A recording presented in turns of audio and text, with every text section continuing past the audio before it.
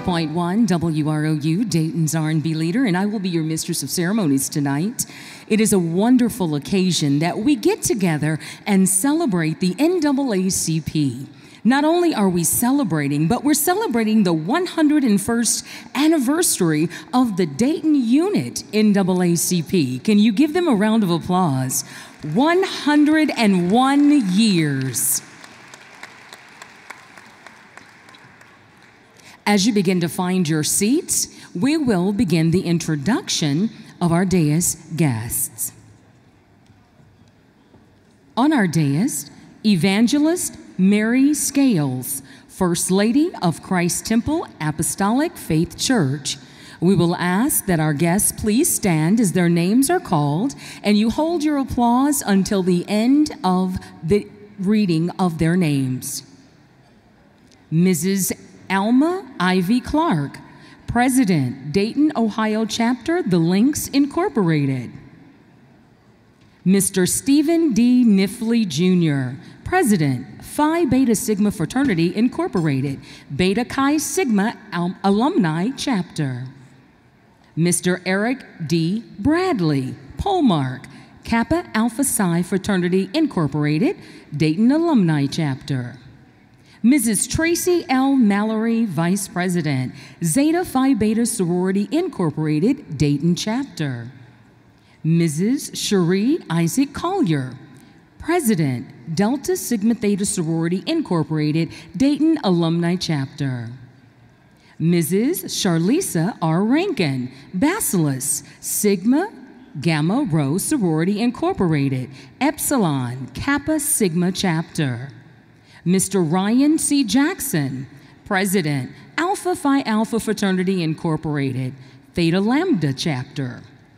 Ms. Maddie White, Social Action Chairperson, Delta Sigma Theta Sorority Incorporated, Montgomery County Alumni Chapter. Mr. Eric L. Dilworth, Basileus, Delta Alpha Chapter, Omega Psi Phi Fraternity, Dayton, Ohio. Mrs. Patricia Meadows, Basileus, Alpha Kappa Alpha Sorority Incorporated, Tau Lambda Omega Chapter. Mrs. Cheryl R. Williams, President, Beta Eta Omega Chapter, Dayton, Ohio, of Kappa Al- Alpha Kappa Alpha Sorority Incorporated. Mrs. Sharon D. Monroe Higgins, President, National Panhellenic Council of Montgomery County, Ohio. Ladies and gentlemen, you may applaud.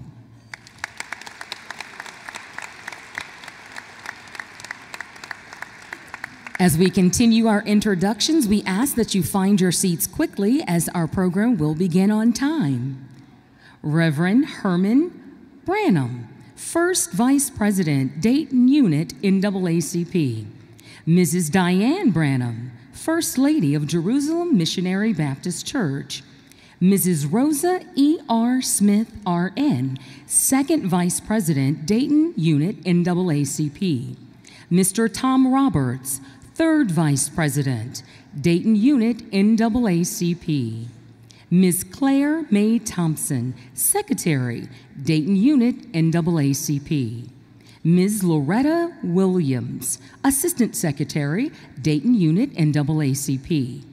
Ms. Jamie Rippey, Assistant Treasurer of the Dayton Unit of the NAACP.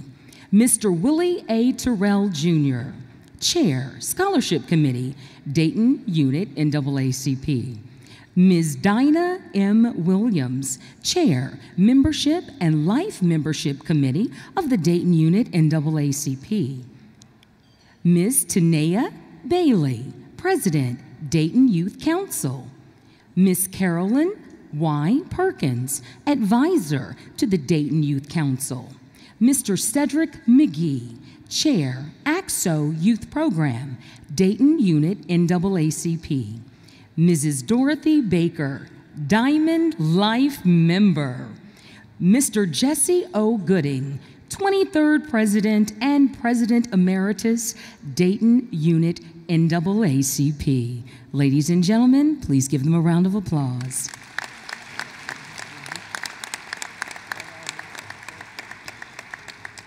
As we continue with our introductions, please find your seats quickly as our program will begin on time. The Honorable David Pepper, Chairman, Ohio Democratic Party. The Honorable Judge Dodge, Judy Dodge, President, Montgomery County Commission. The Honorable Fred Strahorn, Minority Leader, Ohio House of Representatives. The Honorable Mike Turner, Congressman, U.S. House of Representatives, serving Ohio's 10th District. The Honorable Ted Strickland, former Governor, State of Ohio. The Honorable Nan Whaley, Mayor of the City of Dayton. The Honorable Rob Portman, U.S. Senator, serving the State of Ohio. Mrs. Monica Byers, wife of Community Award recipient. Mr. Keith Allen Byers, our Community Service Award recipient. Dr. Gloria J. Forward, President, International Apostolic University of Grace and Truth. Dr. Sharon R. Johnson, Vice President, International Apostolic University of Grace and Truth. Elder Nathaniel Johnson, Pastor, Christ International Outreach Ministries. Mrs. Nina Emme, wife of Honorary Chair. Mr. Nadam Emme, owner, Zix Family Pharmacy and Home Medical Supply. Ladies and gentlemen, please give them a round of applause.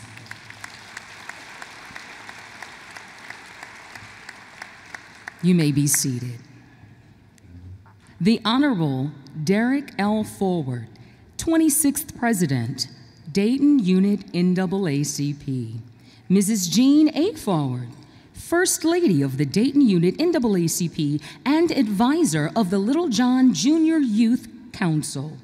The Honorable Ludell Dale, Lou Dale, Chair, Freedom Fund Committee, Dayton Unit NAACP. Mr. Marvin Dale, husband of the Freedom Fund Committee Chair. Mrs. Daria Tolliver, President, Move Forward Thurgood Marshall NAACP High School Chapter. Lieutenant Colonel retired Claudia L. Mason, Advisor, Move Forward Thurgood Marshall NAACP High School Chapter. Mrs. Inya Green, Ms. Ina Green, Member, Membership and Life Membership Committee, Dayton Unit NAACP. Mrs. Yvette R. Kelly Fields, Executive Director, Wesley Community Center. The Honorable Mia Wortham Spells, Judge, Dayton Municipal Court. The Honorable Chris Shaw, Commissioner, City of Dayton. Mr. Richard Clay Dixon, former mayor of Dayton and current lead organizer of Miami Valley Organization Collaborative. Miss Destiny Ray Walker, President, Little John Jr. NAACP Youth Council. Ladies and gentlemen, please give them a round of applause.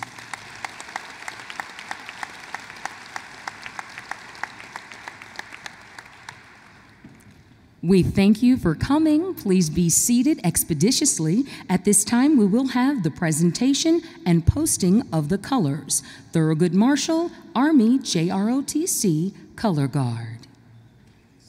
Please stand.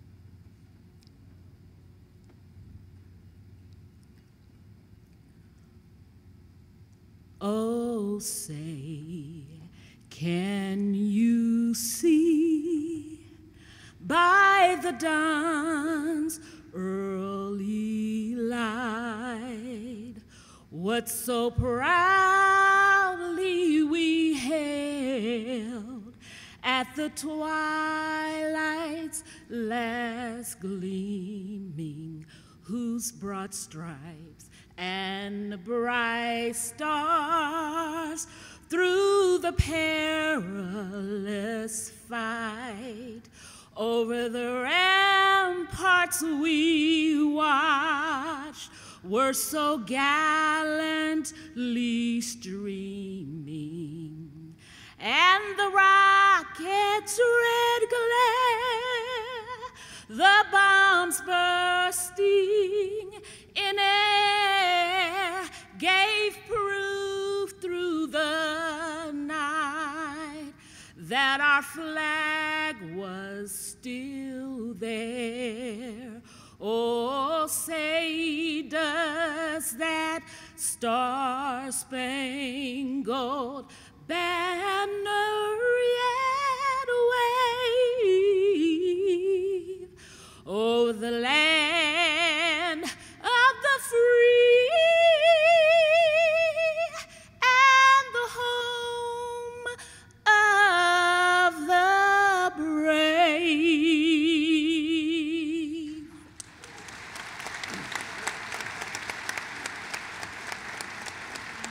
Lift every voice and sing.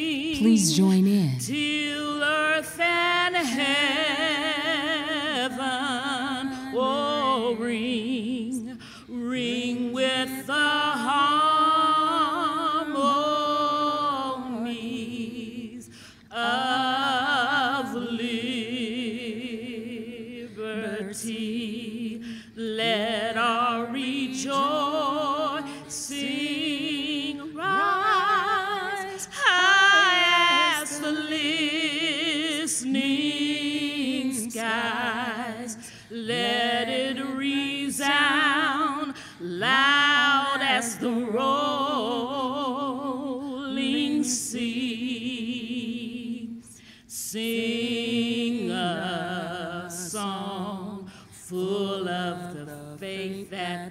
Dark past has taught us. Sing a song full of the hope that the present has brought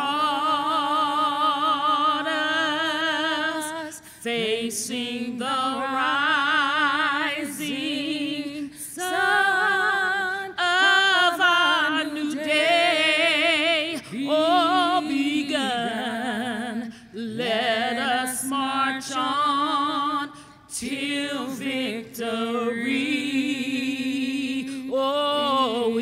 is won. God bless you all. Thank you so much, Mrs. Audrey Whitaker Wright.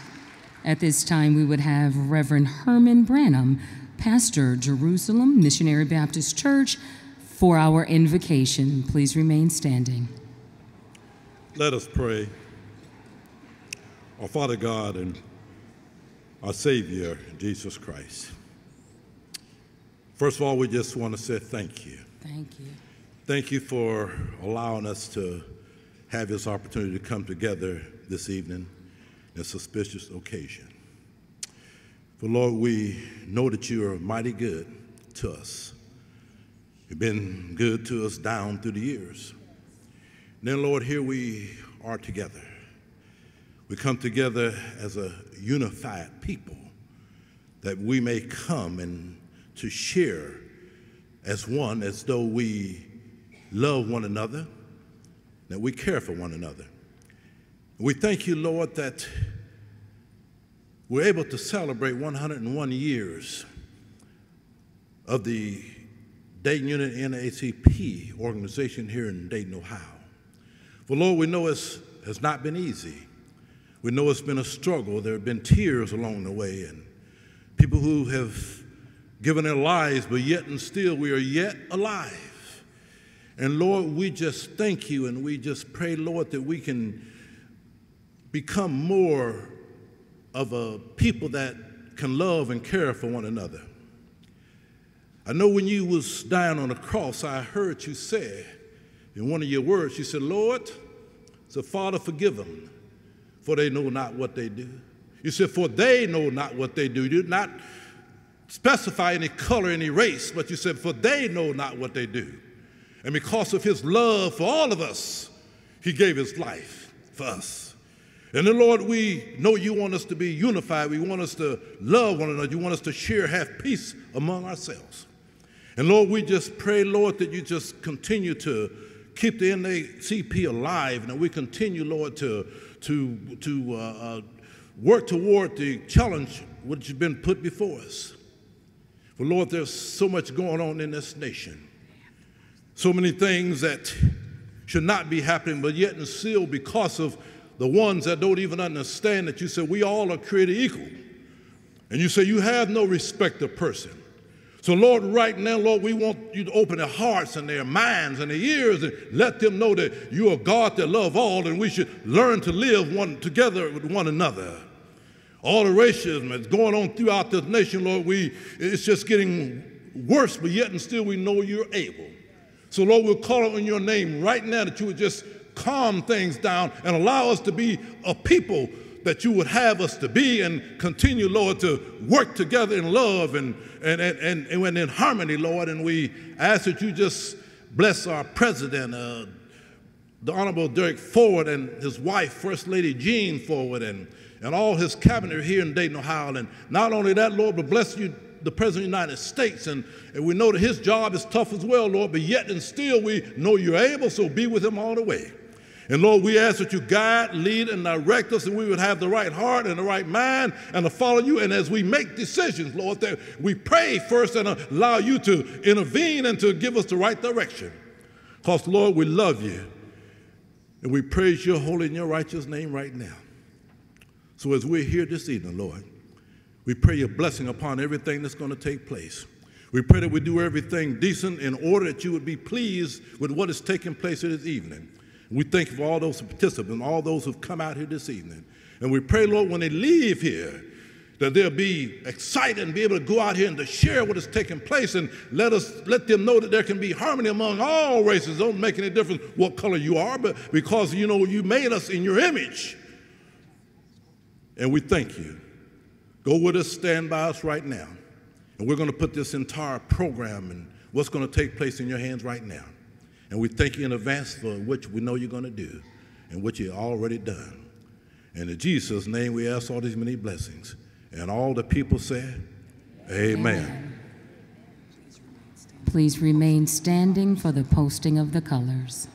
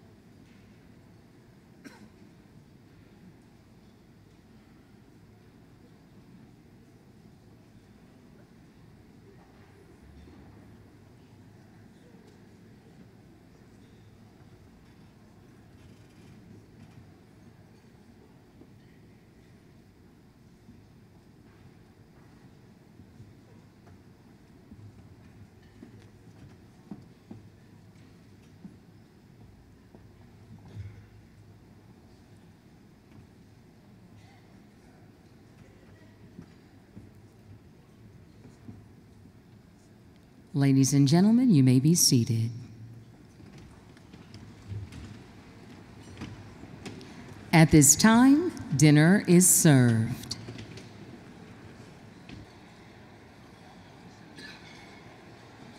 We hope that you are enjoying this sumptuous fare thus far. I'm Faith Daniels from 92.1 WROU, and I welcome you personally to this amazing occasion and to officially welcome you, the Honorable Lou Dale, Chair of the Freedom Fund Committee. She will then be followed by a number of greetings, introductions by our elected officials with proclamations and citations. The Honorable Nan Whaley will then be followed by the Honorable Judy Dodge, the Honorable Mike Turner, will be followed by the Honorable David Pepper, and the Honorable Rob Portman will be followed by the Honorable Ted Strickland. Ladies and gentlemen, I present to you the Honorable Lou Dale, Chair of the Freedom Fund Committee.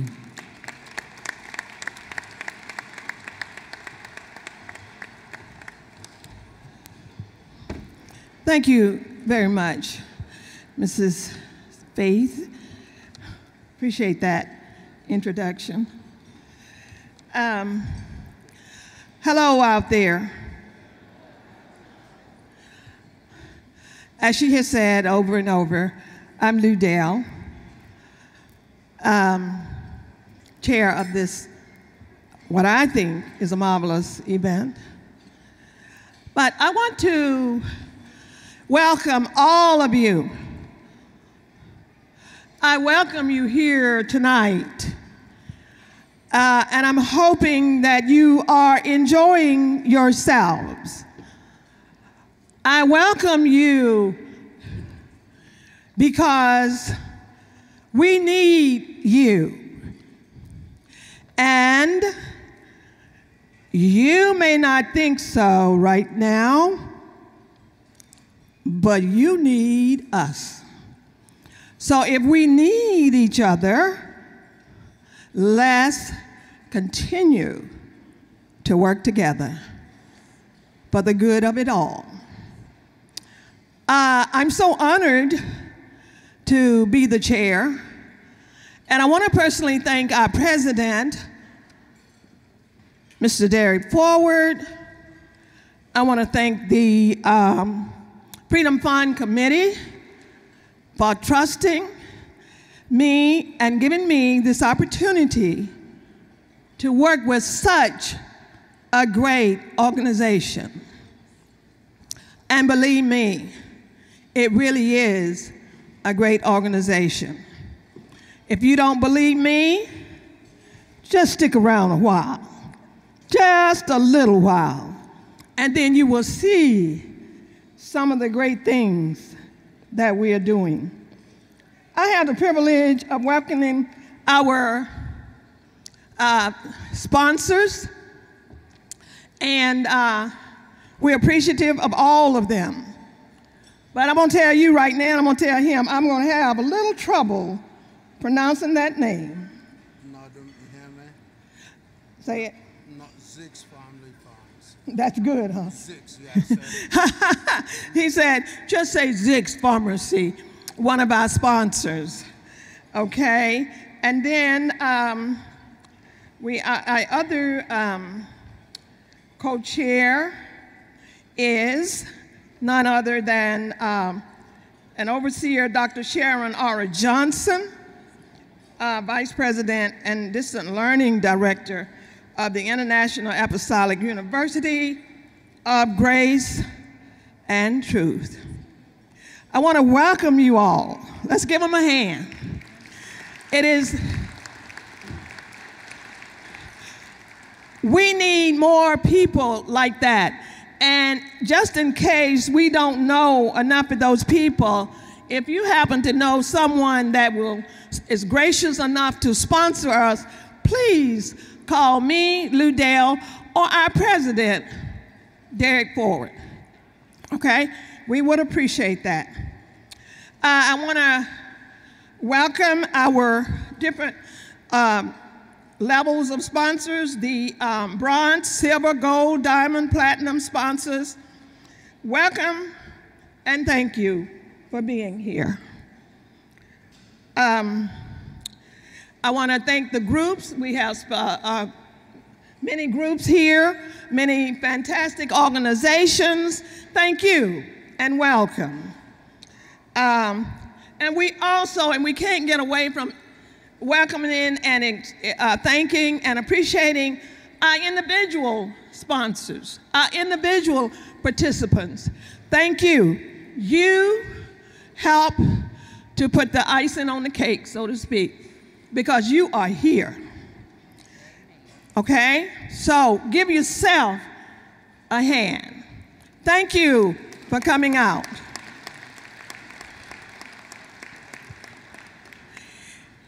Now, I'm only going to take 30 seconds up here. Just 30 seconds. 30 seconds, hush. Uh, 30 seconds. I, what if I can't tell time? But anyway, um, I attended a function earlier this afternoon and I was remiss. I did not invite, I did not introduce or thank this person that I live with, and this person that I go home with, and this person that has stood beside me in my struggles on the Board of Education and in my struggles on City Council and been beside me. I would be remiss at this time that I didn't uh, uh introduce my husband, Marvin Dale, Chief Marvin Dale.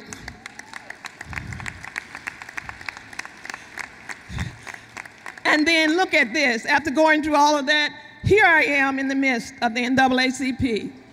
What can I say? I want to uh, thank my children for coming from out of town, my daughter, uh, my son in law. I appreciate that. And you know, my heart is sitting on his mother's knee, my grandson, Micah Julian Johnson. I want to thank you for being here. Also, I want to invite you again. I know you've heard this, but all of you probably got this little card on your table. Now, we hope you'll utilize it this time because we had to take a dollar or two from your ticket money to pay for them, okay? And this is what we want to do to give back to you. We invite you to come again, and this is free. This is the president's reception. Honorable Derek Forward. Now, it's going to be in that room right back there. There's a sign, and I think from here, without my glasses, I believe there's a number on it that says 103. Uh, now, I was told that there was going to be some balloons, but evidently somebody fell down on the job. But you can bear, you, you understand sometimes that good help is hard to find. But anyway, you can find it right over there. I appreciate it if you would come. Um, now, the other thing is very important to remember November the 8th. What's happening November the 8th? What's happening November the 8th that might turn this world upside down? Okay, remember, get out and vote. I would appreciate that. And with that note, I want you to enjoy your dinner. And if there's anything that I and the person of Lou Dale can assist you with or help you, it doesn't just have to be NAACP, but uh, I do get around. And if there's anything that I can help you with, just call. Enjoy your dinner. Thank you.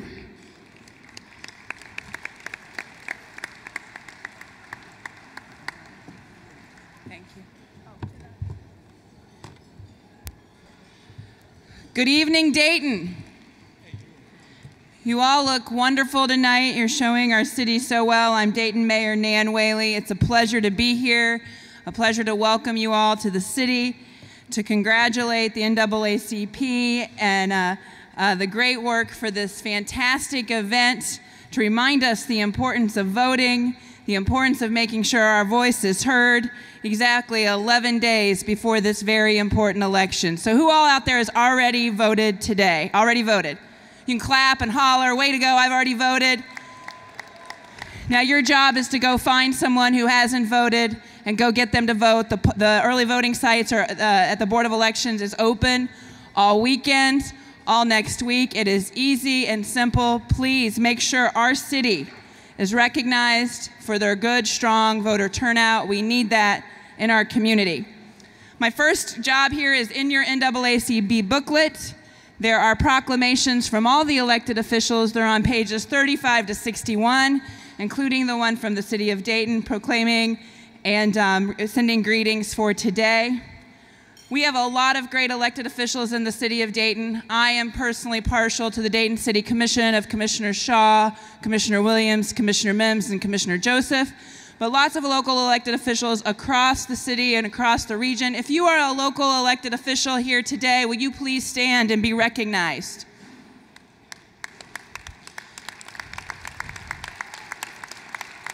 We certainly appreciate all the good work of my colleagues, making sure that we fight every day for the good work that's happening across our community as our community continues to grow and we fight for the rights of our, our people in Dayton. I want to uh, thank the NAACP for their endorsement and support of an important issue that's on the ballot in Dayton this, this, this November, uh, issue 9.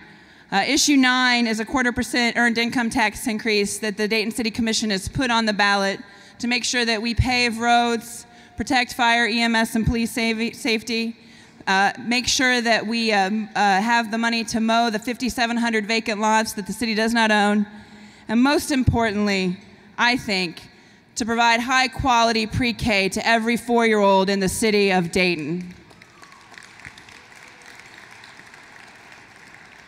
The endorsement of the NAACP was a thoughtful endorsement and one that truly shows the value of this for our community. It is $1.60 a week if you make $35,000 a year and work inside the city of Dayton and Dayton residents. Uh, over 60% of the money is paid by people that do not live in the city. It's a great value for Daytonians.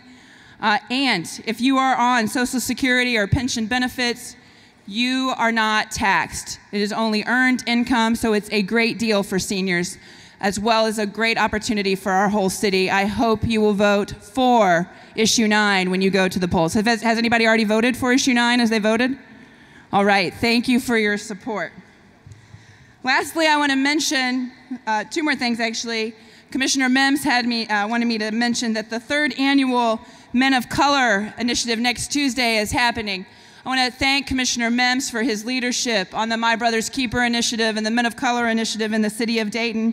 This Tuesday, if you aren't a part of it, this Tuesday evening, please join Commissioner Mims, Tom Maultsby of the United Way, Marlon Shackelford of the Omega Street Advocates, and Dr. Stephen Nifley of Wright State University uh, for Tuesday night and Wednesday as uh, uh, men of color go back to school to make sure that we create those mentorships and partnerships that our children so, so much need in the city of Dayton. So Commissioner Mims is right here at table 25. I'm sure he'd love to be um, uh, have lots of people come his way uh, tonight as we work on the Men of Color initiative, and thank you for your leadership there. Now, as many of you all know, I am a big fan of women leadership. I am so excited when we see young women leading in our community, leading in our churches, leading in our cities, and yes, even leading in our country. Uh, and so I wanted to mention that President Foward and Claudia Mason had a vision of an idea of having a high school NAACP chapter. And I am so proud that Thurgood Marshall High School in the city of Dayton is the first NAACP chapter of a high school in the state of Ohio.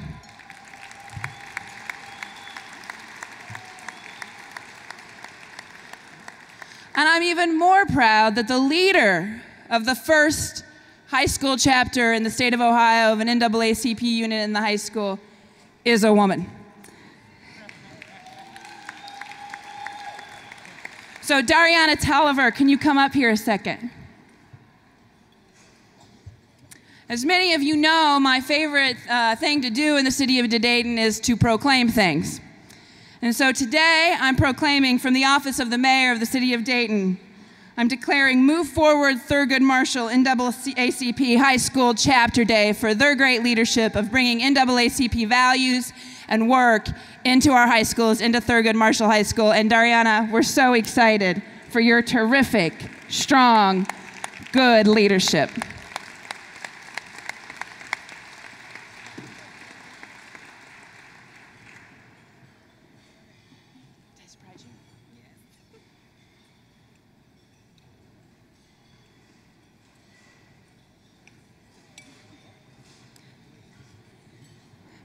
Thank you for your support of the City of Dayton. Thank you for your support of Issue 9. Thank you for your support of strong leadership. Have a great evening.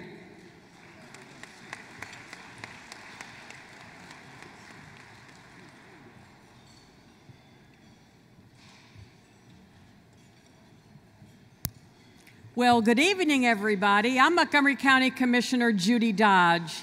It's a pleasure to be here tonight. I couldn't be more pleased because we're here to celebrate the 65th, think about that, 65th annual Freedom Fund, Freedom Fund Banquet. Say that five times real fast. As well as the 101st anniversary right here tonight. We couldn't be more pleased. And I have a proclamation I think that's in, the, in everybody's uh, book from our wonderful county commissioners, myself, Debbie Lieberman, and Dan Foley. We couldn't be more pleased to be here tonight and congratulate everybody here. And I also have a proclamation for our, our wonderful person here moving forward here with the, uh, with the, um, for, with the Thurgood Marshall NAACP High School chapter. You know, she's just doing such a great job. We couldn't be more pleased. Let me tell you something. I graduated from Colonel White High School. So Thurgood Marshall now is the Colonel White High School. So I'm just very pleased for you. So this is signed from the other commissioners, Dan Foley and Debbie Lieberman. So we just couldn't be more pleased for this. So everybody have a wonderful night and congratulations to the NAACP. Thank you.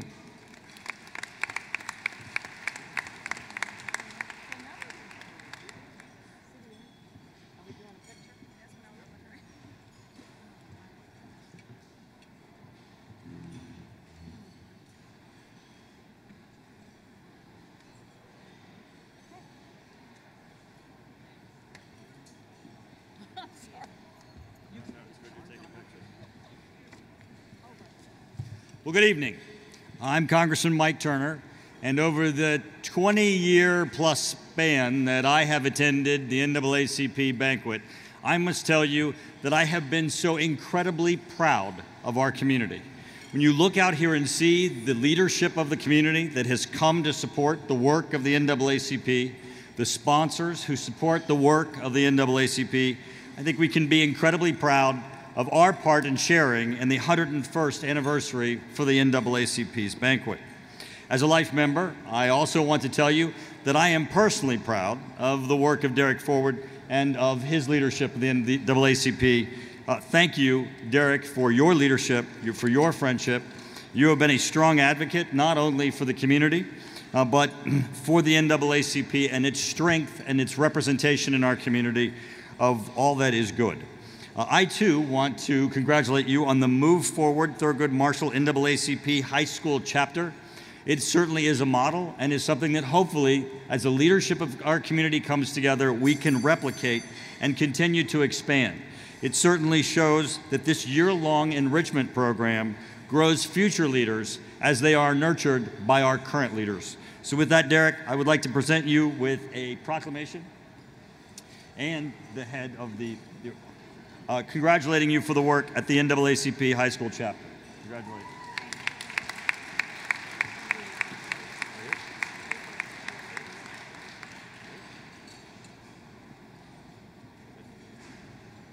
Thank you very much.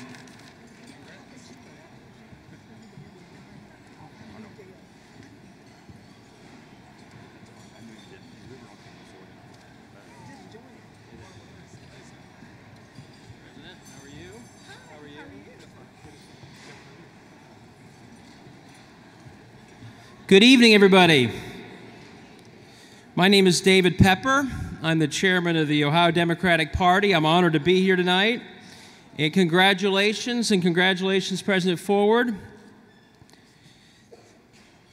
I want to um, share a few thoughts tonight as part of my greeting, knowing that we are only days from an election, with some words from Martin Luther King Jr. Martin Luther King Jr. warned us when he said, In the end, we will remember not the words of our enemies, but the silence of our friends. Dr. King cautioned us again and again. He said, Our lives begin to end the day we become silent about things that matter. This was perhaps his most oft repeated message. He said it again when he said, The ultimate tragedy is not the oppression and cruelty by the bad people, but the silence over that by the good people. And maybe he summed it up best when he said, The ultimate measure of a man is not where he stands in moments of comfort and convenience, but where he stands at times of challenge and controversy. I believe the last year and a half has shown us, as clearly as I can remember, how right Dr. King was, how right Dr. King is. That the most important value in public service is the courage to stand up for what's right. And I, I'll just simply share with you I think we have seen too many moments in the last several years the questioning of our president's citizenship, the failure to nominate a Supreme Court nominee, current voter suppression tactics in Ohio, making it more difficult to vote, tactics that look like literacy tests from 50, year, 50 years ago in the South, removal of valid voters from, poll, from the rolls. We currently now have a candidate in this country who is calling on his supporters to go to the polls and challenge citizens as they try and vote.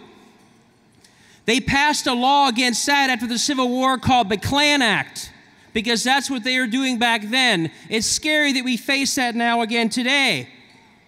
Now, the response to all these offenses to me has been too much silence, too little condemnation, no effort to do things such as reauthorize the Voting Rights Act, too little outrage.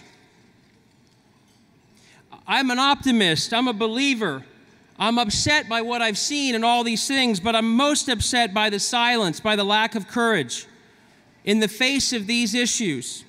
I believe that if folks had stood up years ago when, when the one candidate began to challenge our president's citizenship, if people had sent back then from both parties, our president, who we are proud of, is an American, it never would have gotten this far.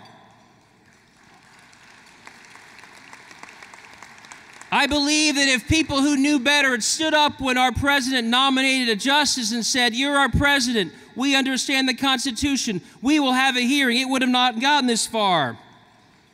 I believe that if good people had come together when the suppression started and the vote purging started and the Golden Week was cut several years ago, if everyone had said, We're Americans, the time for suppression is in the past, that is our past, our future is for everyone to vote, it would have never gotten this far.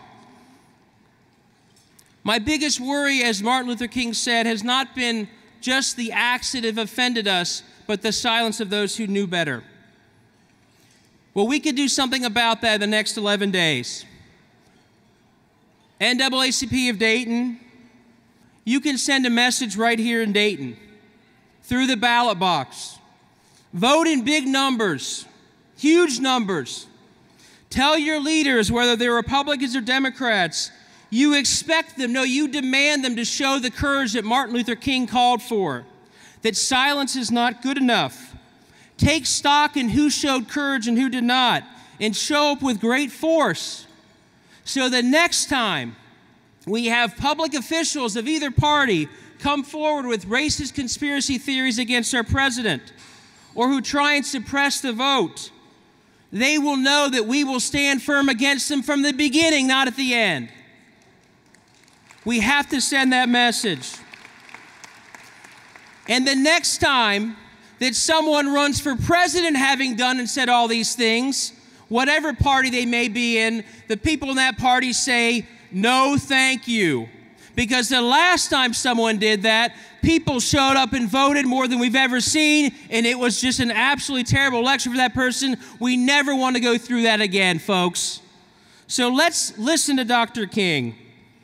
This is not a moment of comfort and convenience.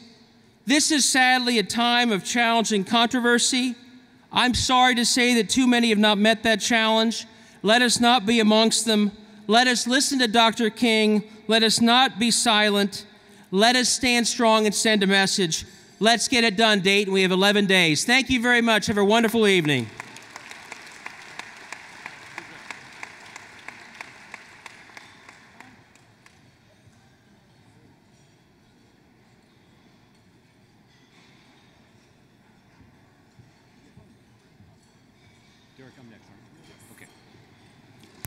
Good evening.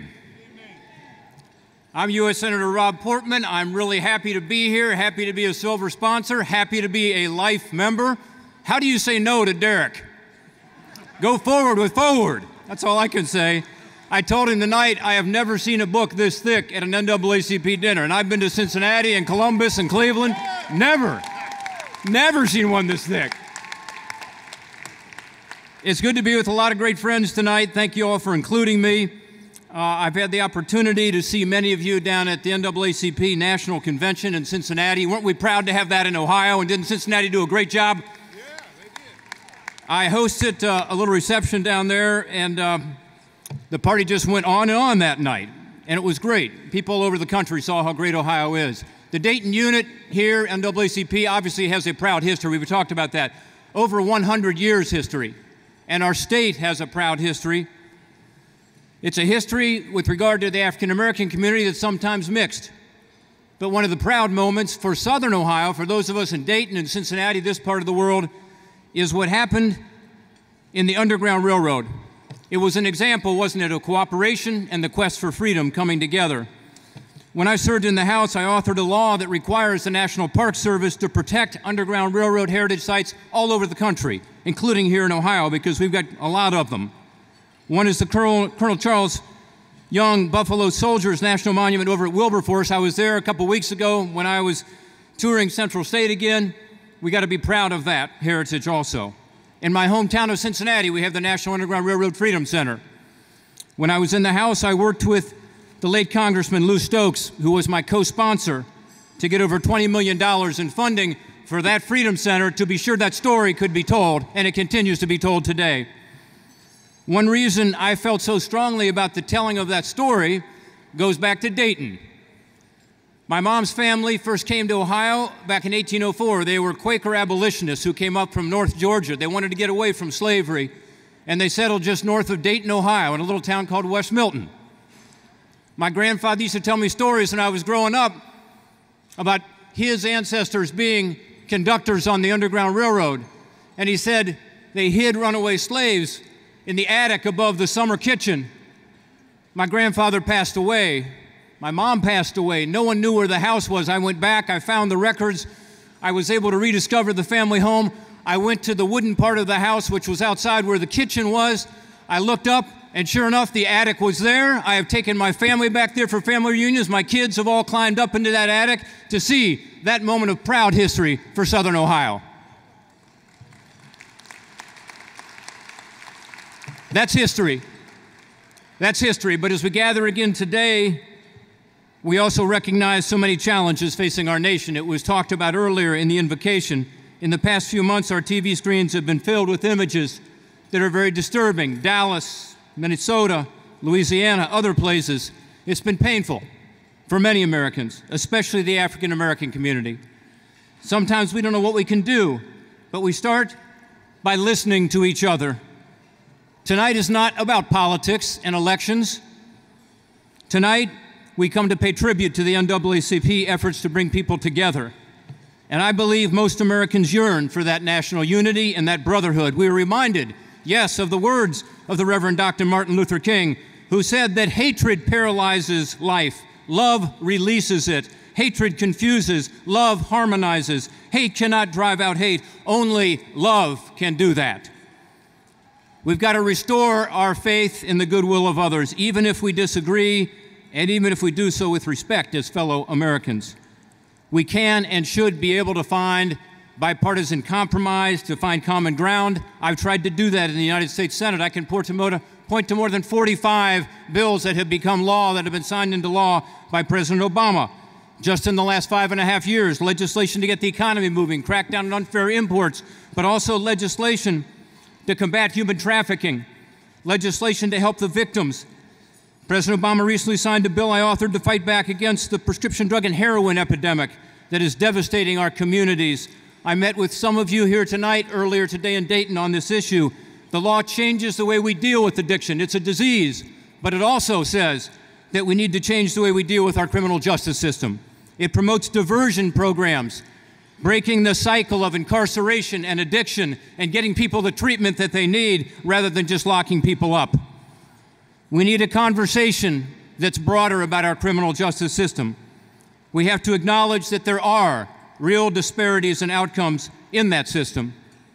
I'm a co sponsor of Senator Cory Booker's bipartisan criminal justice reform in the United States Senate. We should take that to a vote and get it passed because it deals with many of those disparities.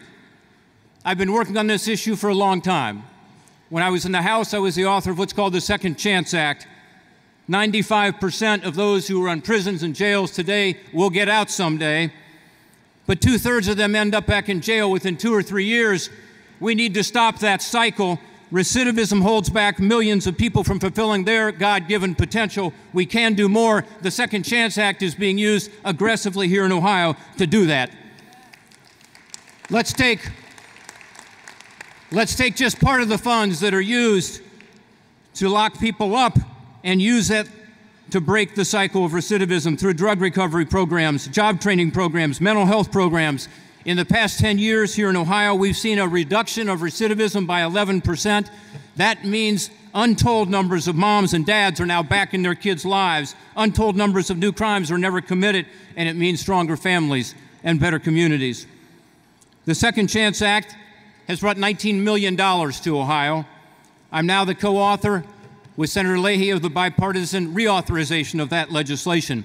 I'm also a sponsor of the Fair Chance Act, which would move criminal history inquiries to the end of the government hiring process.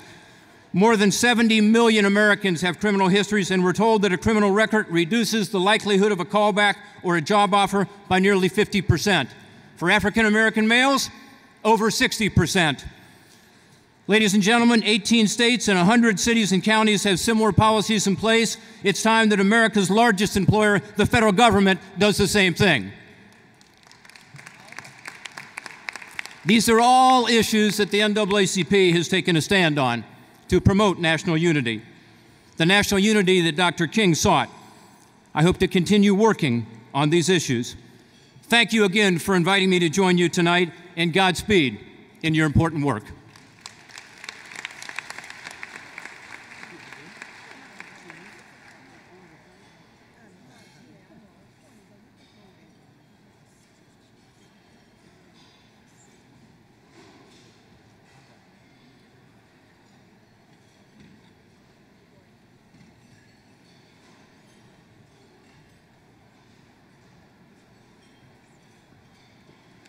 Good evening. I'm Ted Strickland, your former governor.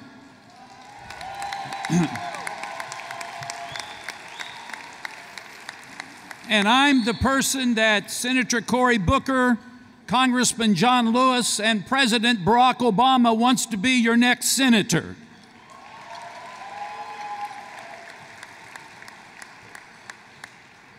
You know, uh, I had the privilege this afternoon of being with my longtime friend, Congressman John Lewis. I first met John Lewis when I was a freshman in Congress. He called me up one morning and asked me if I wanted to go to Arlington Cemetery with him. He was going over there to spend a few moments in prayer at the gravesite of Bobby Kennedy.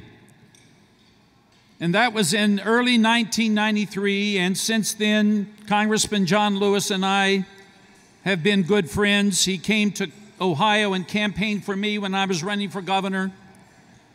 Just let me say to you, my friends, this evening actions mean more than words. And I want to share with you that when I came into this meeting tonight, I was handed an NCAA, NAACP Civil Rights federal report card. You know, the, uh, the NAACP for many years has monitored the actions and the behavior of the people who serve in the House of Representatives and in the United States Senate. And they put forth a report card. They look at the issues that are important to the NAACP and they grade the members of the House and Senate. During my years in office, I have never gotten below an 82, and most of the years I was in office, I was in the high 90s. But I can share with you this evening that my opponent for this Senate seat has never gotten a grade higher than an F. 2015, his grade is an F. Now, I want to share with you some issues that I think are important. When I was governor, I found out that our judiciary was too white and too male. And I had the privilege of introducing and nominating people to fill judgeships in Ohio. Of 38 vacancies I filled, 13 of them were African Americans, and one half of them were women.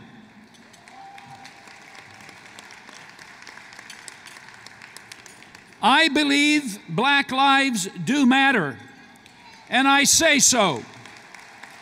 And I also say that too many, mostly young, men of color are losing their lives in this country, and it needs to stop.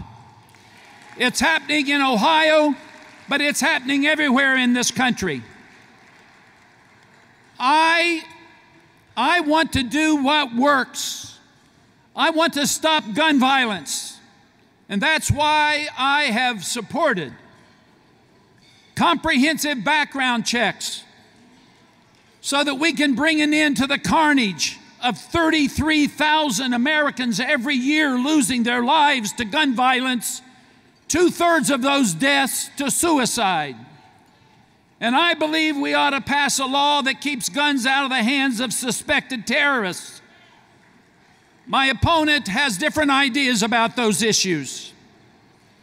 And I believe the president fulfilled his constitutional responsibility when there was a vacancy on the United States Supreme Court and he put forth a qualified nominee in the person of Judge Garland.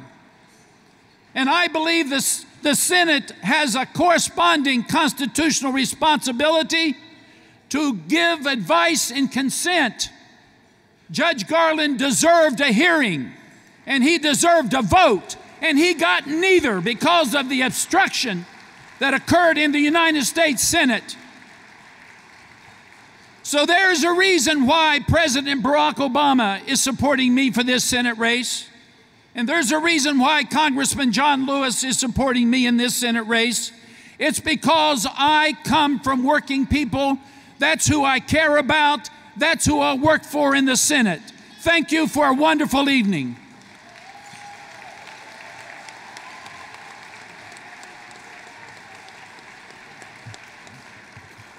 We hope that you have enjoyed the sumptuous fare that has been prepared for you tonight and continue to enjoy a fantastic evening as we go forward.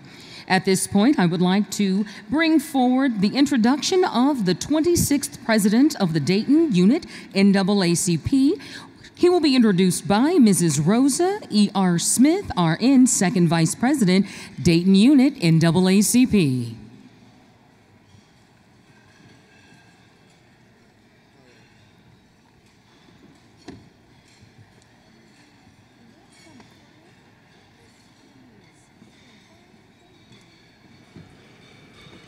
Can everybody hear me? Yeah, that's better. Okay. Well, good evening, everyone. As introduced, my name is Rosa Smith. I proudly serve as the second vice president of the illustrious Dayton Unit NAACP for many years, and it has been my honor to do so. Uh, this will be my last time serving, and I will become the WIN, Women in NAACP chair. So I will be contacting of almost every female in this audience. Thank you very much. Let's give, your, let's give yourselves a big hand. okay. But tonight I'm tasked to introduce the president of the Dayton Unit NAACP, number 3181. This gentleman serves not only as a local president, but he has served in, on committees at the state level as well. And I suspect that in a rather short period of time, he will serve on national and international committees. This is none other than Mr. Derek L. Forward, our president. And if you could just put your spoons and forks down for a minute and just stand with me and give him the standing ovation that he deserves. Mr. Mr. Forward. All right. Yeah. It's always good.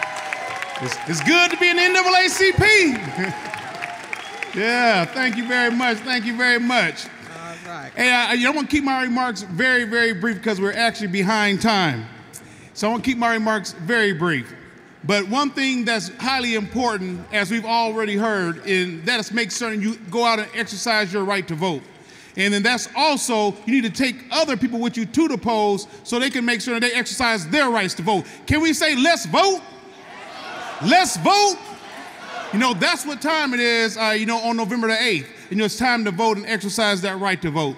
So with that, I'm going to uh, introduce two of the honorary co-chairs this evening. Uh, well, they already been introduced, but I'm going to present them with an award. Uh, this first award is going to be to Nadam Ahim. If you can stand, sir. It says, uh, in recognition for being the honorary chairperson at the Dayton Unit NAACP 65th Annual Freedom Fund Banquet, you are a first class business executive and a blessing to our community. We, the people, our lives matter, our votes count. Signed off by Lou Dale, Chair, Derek L. Ford, President. We thank you for your contributions, Mr. Noddle.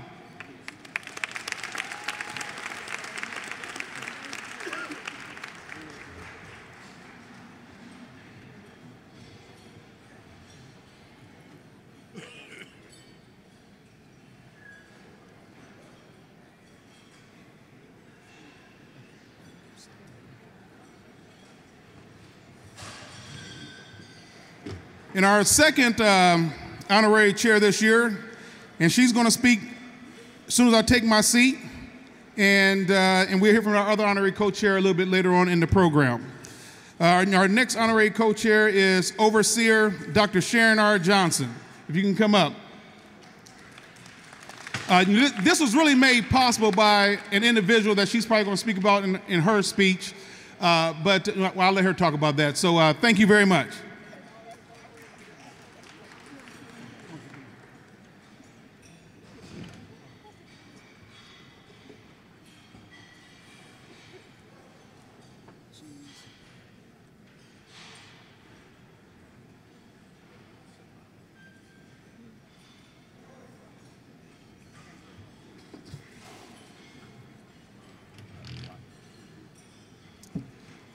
So, with that, um, I just want to say, you know, we the people, our lives matter, our votes count.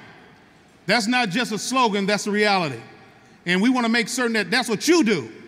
Every person inside this hall, I know it's good to see when Mayor Whaley asked how many people had already early voted, uh, you know, that a lot of you raised your hands. Because that tells me that you are, have already exercised your right to vote. And that's a powerful thing. Your vote will make a powerful difference. No matter what party you're in, Republican, Democrat, Independent, you need to make certain that you go out and exercise your right to vote. So at this time, we're going to hear from Overseer Dr. Sharon Johnson. Thank you, and I'll talk to you later.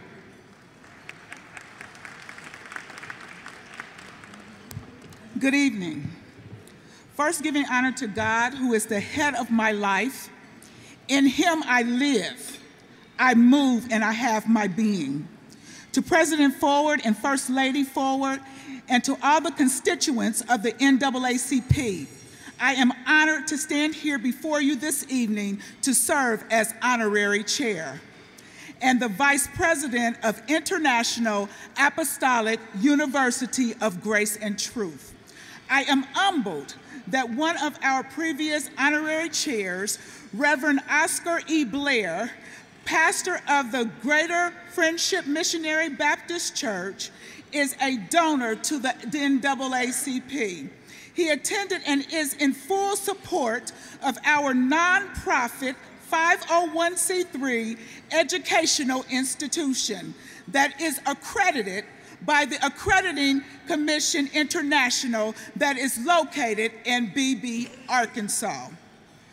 As an educational institution, our endeavor and sole purpose is to, is to provide a high quality program of study which educate, enlighten, enhance, encourage, equip, and empower men and women to achieve excellence in various areas of Christian ministry and in other professional careers of their choice. I am honored to see many of the graduates here on tonight.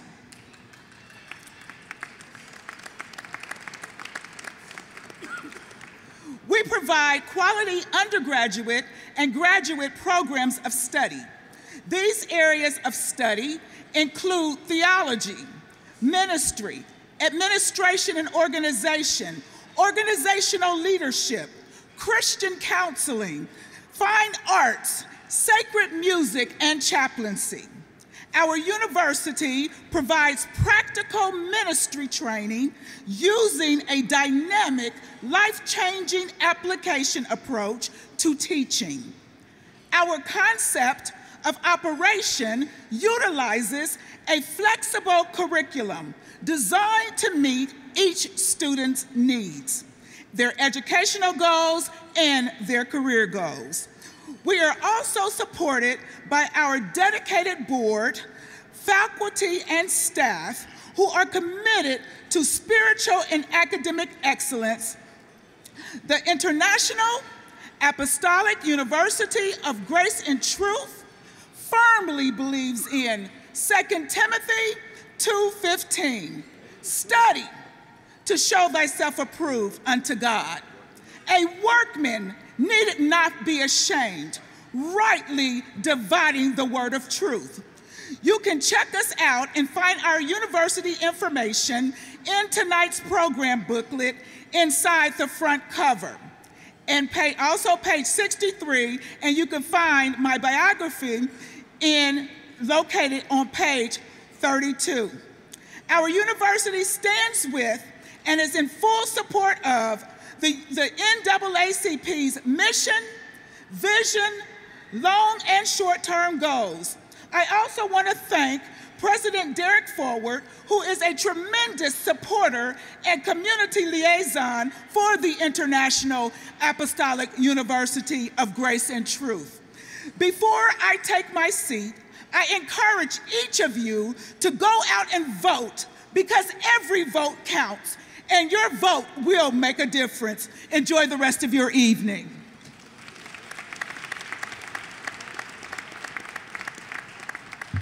What an amazing night we are having. So many amazing voices are saying the one singular meaning, one singular thought vote. 11 days away for you to use your voice to say exactly what you want. Up next is our life membership presentations. Ms. Dinah Williams, Chair, Membership and Life Membership Committee, as well as Mrs. Ina Green, member of the Membership and Life Membership Committee. Please give them a round of applause as they come.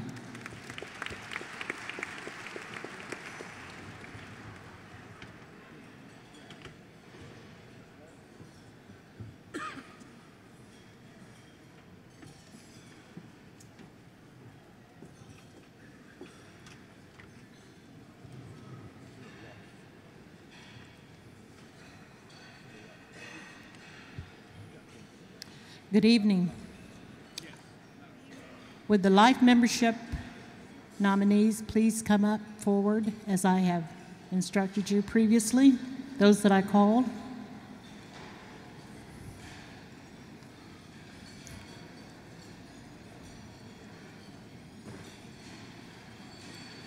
We will be starting with the junior life memberships.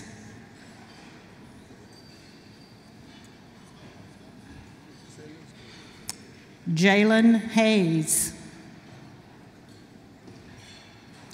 Jason Hayes. Micah Julian Johnson.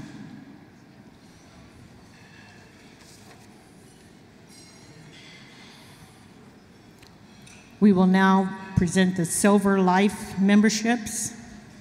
Asala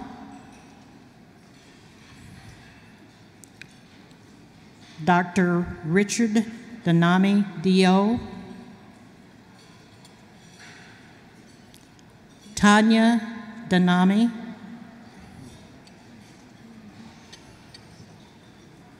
Alfonso Forward Sr., Reverend David I. Fox. That's Reverend Dr. David I. Fox. Nomi Ahum.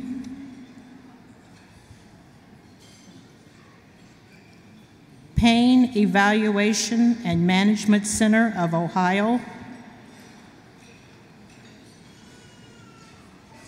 The Honorable Rob Portman.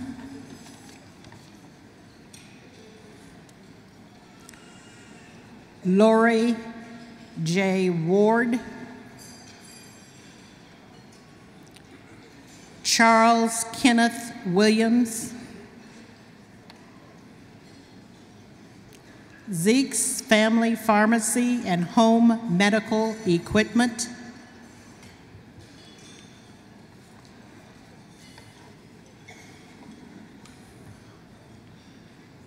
The next group will be Golden Heritage Membership. First Lady Jean A. Forward.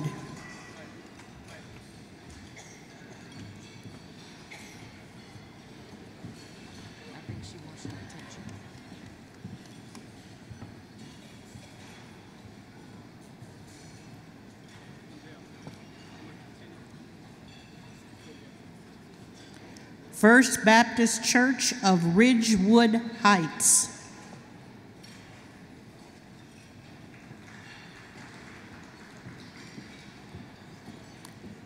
Diamond Life Membership, Dayton, Ohio Chapter, The Links Incorporated.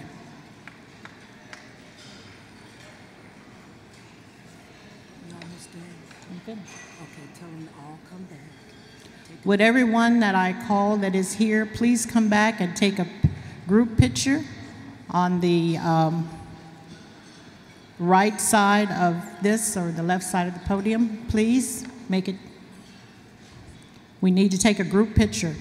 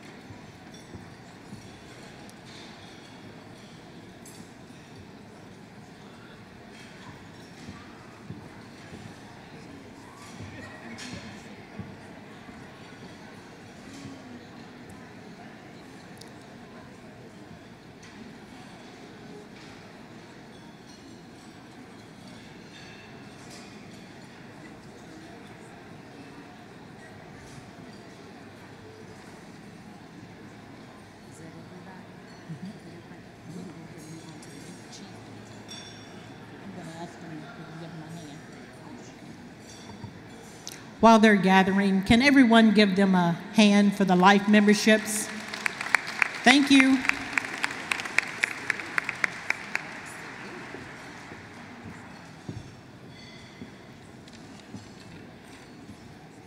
Tonight is about celebration. Tonight is about the recognition of so many levels of achievement. At this time, we would like to recognize our youth achievements. And to do so, Miss Carolyn Y. Perkins, Advisor, Dayton Youth Council, and First Lady, Mrs. Jean Forward, Advisor, Littlejohn Junior Youth Council and Mr. Cedric L. McGee, Chair, ACT-SO Youth Program. Please give them a hand as they come.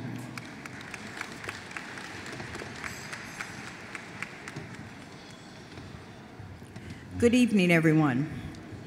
My name is Carolyn Perkins. I'm the advisor for the Youth Council.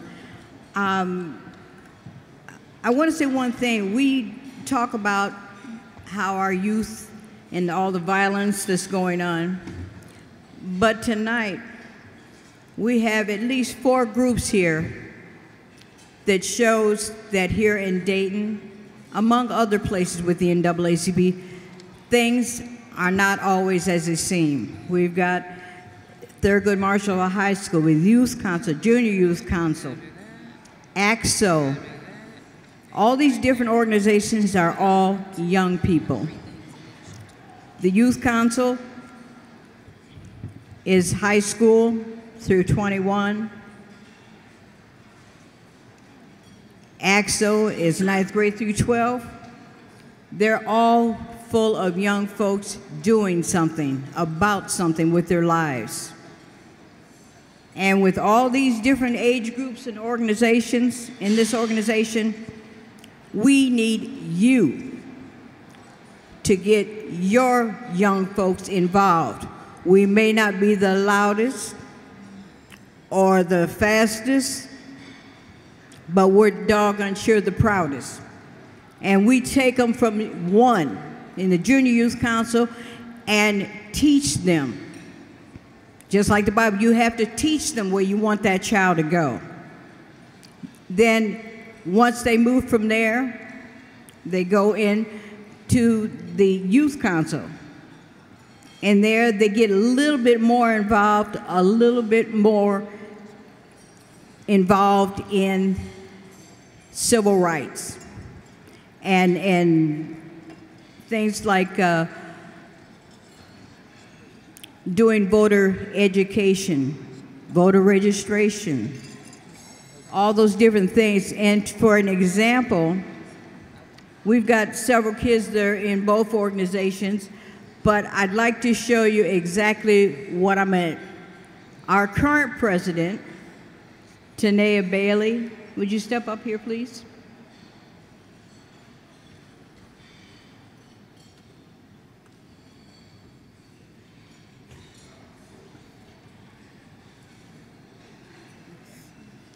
Now, Tanea, Tanea has been in the youth council, the junior youth council, since she was this young man's size over here.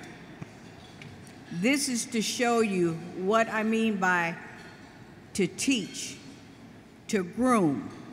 She was the president of the Junior Youth Council. Now she's the president of the Youth Council. And we're sure she's going to go on. I'd just like her to say a couple of words about the staff that she's working with.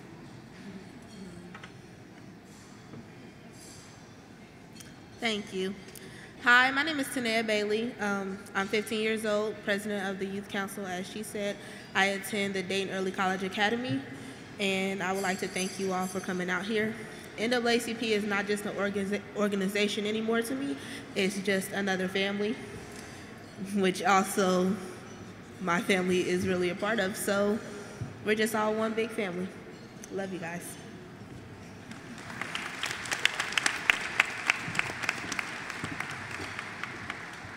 Good evening. I am Jean Forward, uh, advisor of the Little John Junior Youth Council, and I have a new president this year since I lost Tanea, and she's going to do a presentation for you all.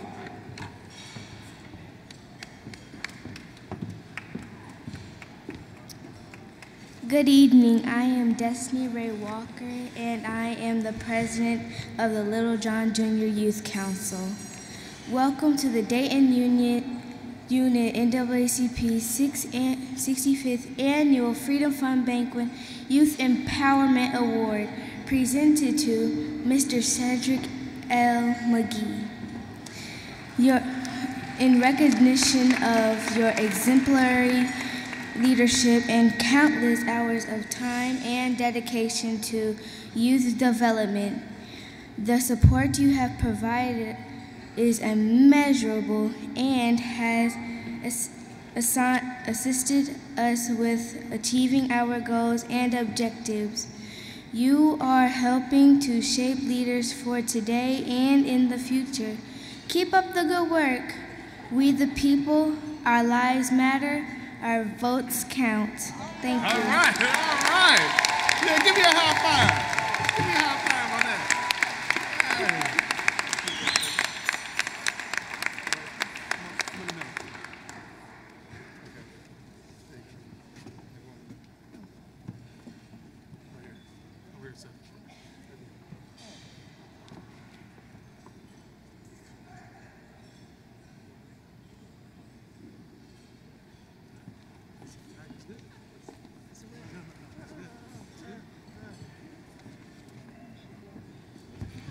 Tonight, the accolades just continue. The Laverne and Jesse Gooding and the Miley O. Williamson scholarships, as well as the Derek L. Ford Visionary Leadership Scholarship, will be presented by Mr. Willie A. Terrell Jr., Chair of the Scholarship Committee.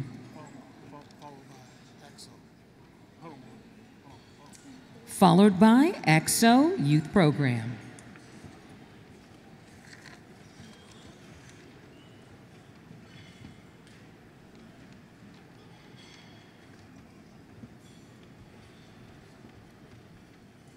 Oh, I tell you, this Pokemon stuff is really uh, addictive.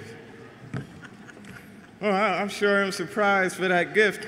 I'd like to thank the, the Executive Board Committee for that. Um, I am the chairman of the ACT-SO program, and uh, ACT-SO stands for Afro Academic, Cultural, Technological, and Scientific Olympics. It's a high school student youth program that encompasses the gifts and talents of our Dayton area youth in the categories of STEM sciences, visual arts, performing arts, writing humanities, and business. Our students compete for local medals, uh, gold, silver, or bronze medals, and then the gold medalists compete for national medals and scholarships. And tonight I'd like to recogni- recognize our national medalists. Uh, if they could come forward. Um, these students represented uh, the Dayton, Ohio unit in Cincinnati's national competition. Uh, Christi- Christina Streety in the category of poetry performance. Uh, Casey Turney in the category of engineering, and I was his proud mentor as an engineer myself. And um, Kier Dewberry in the category of biochemistry. And we have another student uh, who couldn't make it tonight named Craig Jackson. Uh, he's at a concert, and his category was music instrumental contemporary. If you would turn to your page uh, 74 in your manuals, and you can read all about the good things that our students have done. And uh, if you know any talented high school students in your area, uh, I'd like you to have them see me uh, after this banquet. Now, while they're being recognized with their pictures, I'd like each of you to uh, take a look. There's a donation envelope on your table. It probably has a, uh, a blue label on it, about this size. We ask that you uh, support our youth groups. As you heard, we've had four youth groups here uh, Little John Junior Youth Council, uh, the ACT-SO program, which I chair, the Dayton Youth and College Division, and as you heard, the first uh, junior high school, I mean, high school youth council within the state of Ohio, Thurgood Marshall. So uh, our youth programs continue to uh, keep our community informed and educated, and we just like you to support them. You can make your checks, checks payable to NAACP. And there will be a silver box at the back of the auditorium. Uh, what I ask you to do is to uh, assign a table captain to uh, put your donations into that envelope and have your table captain put those envelopes into the silver box at the end of the uh, banquet presentation. With that, uh, we just like to thank you for your support.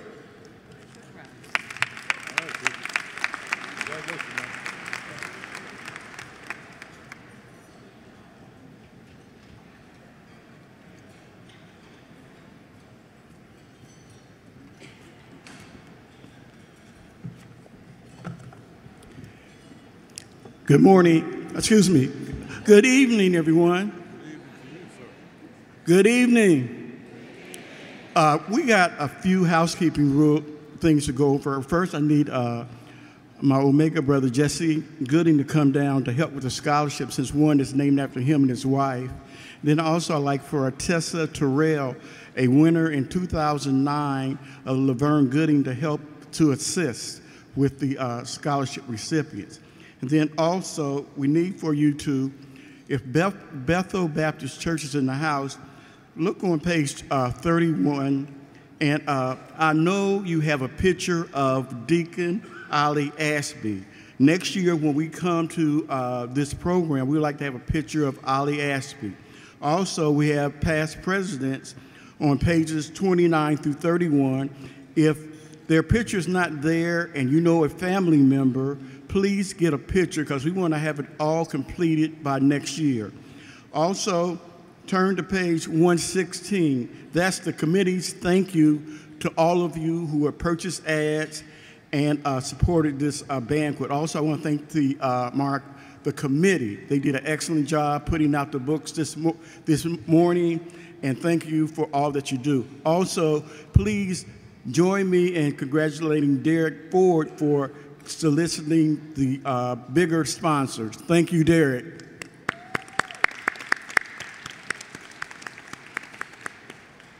Uh, another announcement, page 164 to page 179, lists all the churches that have uh, participated in our book. If some of you are looking for a church home, uh, take a look at those pages because we always say support those who support us, and especially uh, First Baptist Church, my church. Also, amen. We can't forget him because the ch- churches helped build the NAACP. Uh, our first recipient is, is the recipient of uh, the Speedway Scholarship. That person's name is Naja R. Dewberry. Would her and her family come forward?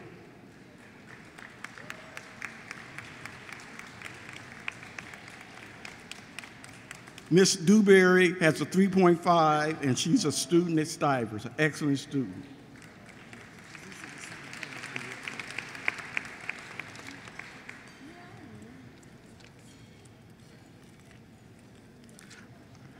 Our next recipient is Amari A. Smith. She has a 3.85 and she is a student at uh, CJ. And Amari is the Laverne Gooding Scholarship recipient.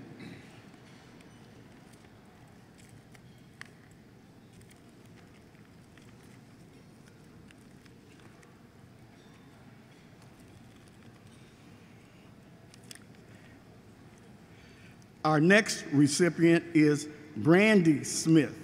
Brandy is a recipient of the Jesse O. Gooding Scholarship. Brandy has a 3.86 and a student at Stivers. And, our final stu- uh, student is a student for the Derek Ford Scholarship. Excuse me, excuse me. Uh, our next scholarship is uh, the Molly O. Williamson Scholarship, and that's Queen J. Peters Thornton. Queen, bring your family up with you. Queen also has a great great grandmother with her.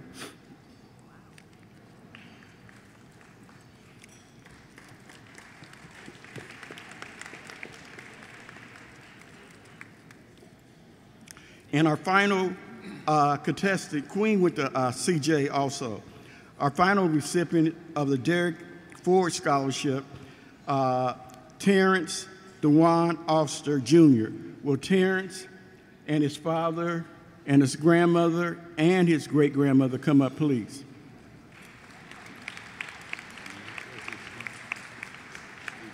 Yeah.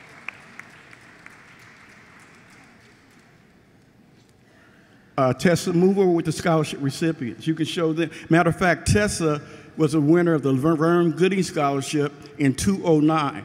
If, if, if you look in your book, you'll see the listing of all the scholarship recipients.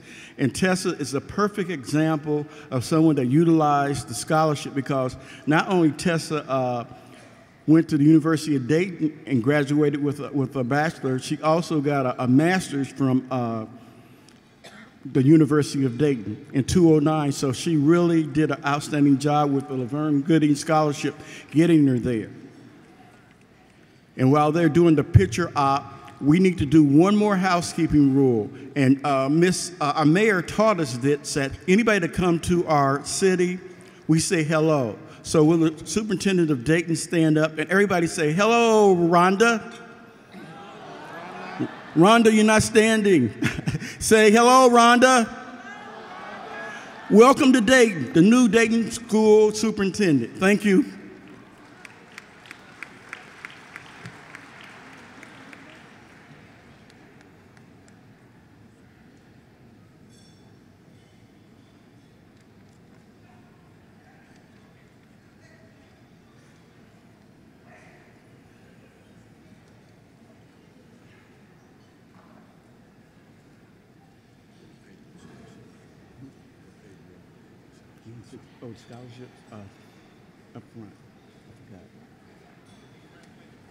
Congratulations. Let's give all of them a hand, please. Thank you all. We want to remind you that at the conclusion of tonight's festivities, you are asked to join the president for his reception in room 103 immediately following our program tonight. At this time, we will continue with the Dayton Unit NAACP Community Service Award presented by the Honorable Tom Roberts, third vice president, followed by the Dayton Unit NAACP President's Award presented by the Honorable Derek L. Forward. Good evening. It is my pleasure once again to recognize the Community Service Award recipient of this year. I ask you to turn to page 138 in our program. A native Daytonian, Keith Allen Byars Sr. Keith played football at the Ohio State University under Coach Earle Bruce.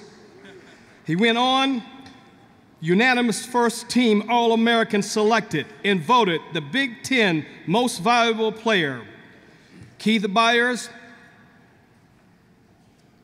concluded his college career at Ohio State University in running 4,360 total yards, 3,200 rushing yards, and 50 touchdowns.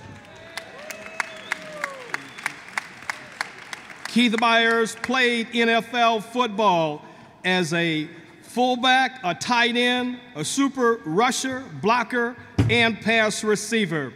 He is an American sports broadcaster and former football player in the National Football League for the Philadelphia Eagles, Miami Dolphins, the New England Patriots, New, York Jets, and he played in the Super Bowl.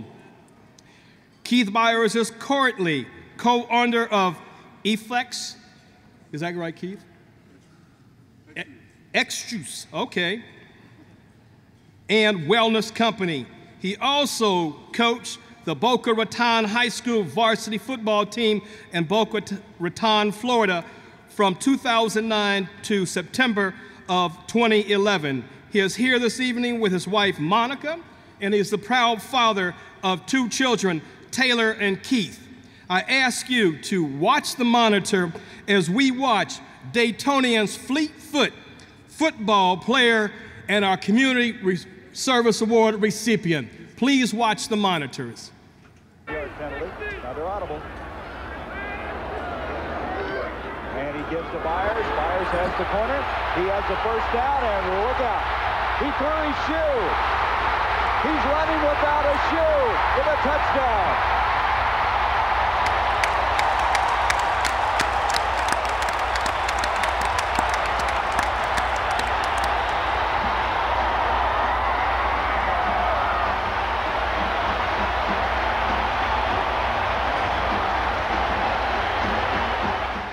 Was all over. Well, Gary, I know we keep talking about Mike Tomczak's head, but this touchdown really does belong mostly to Tomczak, who put them in the right play, the right audible. And then, of course, Keith Byars, tremendous skills. You there, he threw his shoe. It, we talked about shoes. You saw the size 17 of Karowitz. Well, his size 8 or 9 is out there on the floor somewhere. But this is a Heisman Trophy run by Keith Byars. One more look at a draw play. Interesting call, too, because uh, uh, Tomczak has been throwing the ball so well. Now they're able to run the draw plays. You take advantage of Keith Byars in so many different ways. What a thing of beauty, 67 yards.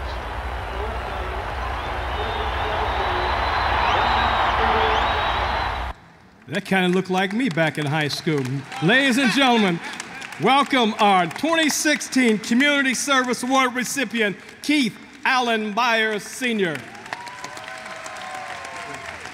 Let's stand on our feet and recognize this Daytonian.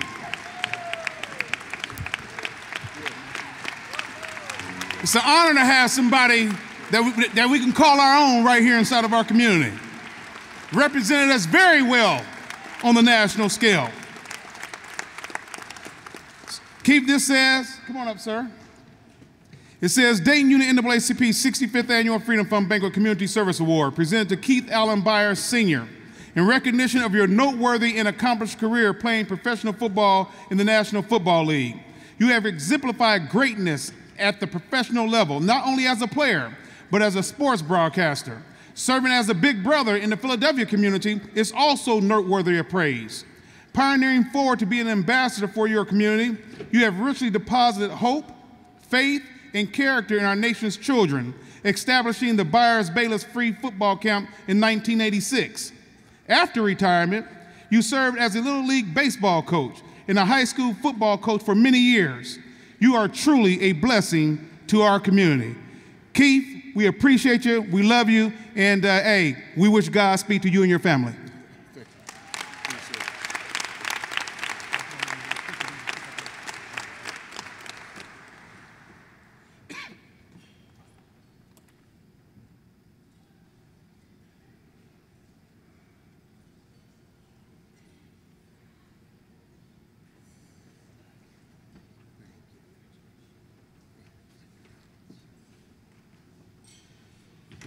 Good evening. Good evening. Hey, it's good to be here. It's good to be home.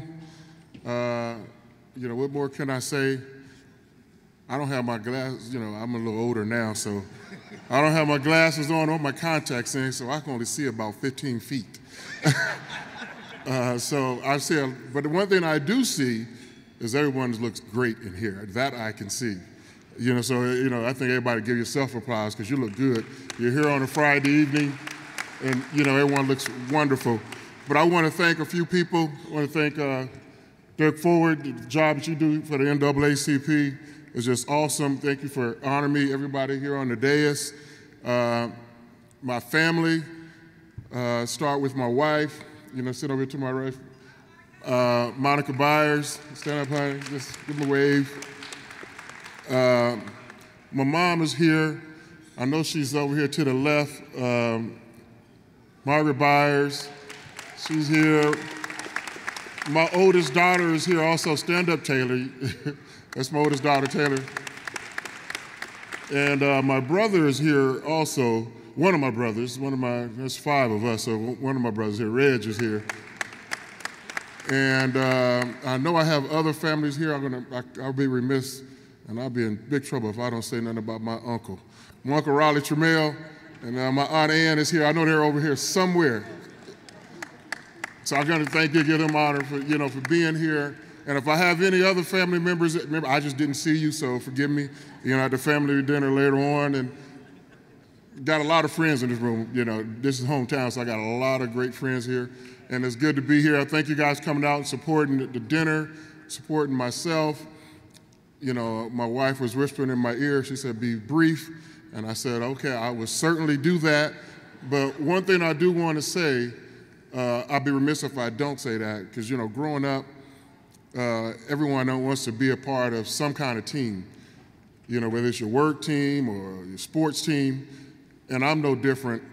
You know, I, I love, you know, the acronyms and the big bold letters, because when I was a little kid, I wanted to be in the big bold letter was HS. I wanted to be a high school football player. So I wanted to be a part of that big, you know, HS team. And then I wanted to go to college and join, you know, play at a real good university, be a part of the NCAA, you know, National Collegiate Athletic Association. I wanted to be a part of that. And I always dreamed about that, those three letters, the NFL. I definitely wanted to be a part of that. And so I was, you know, able to, you know, to reach all of those different goals. But each one of those goals I reached, whether it was high school, college, or professional, you know, you all had to meet certain requirements. You know, no matter how good you were or how bad you thought you was, you had to be certain qualifications to play high school football, play college football, go to professional football. But it was another team I wanted to always be a part of because that was the first acronym and letters that I knew growing up. And it didn't take any. You didn't have to be big and strong or be able to run with one shoe on your foot or anything like that to be able to join. And that was the NAACP. everybody can join the NAACP. It's, a, it's for everybody. And that was the first you know, acronym that I even knew growing up, even before the NFL. I, I just grew up in a family that was, you know, that was very community oriented. So as a young age, I knew what the NAACP was all about. And one more story, and I'm gonna sit my hind parts down in a second. when I was in college, you know, I was taking a sociology class at Ohio State.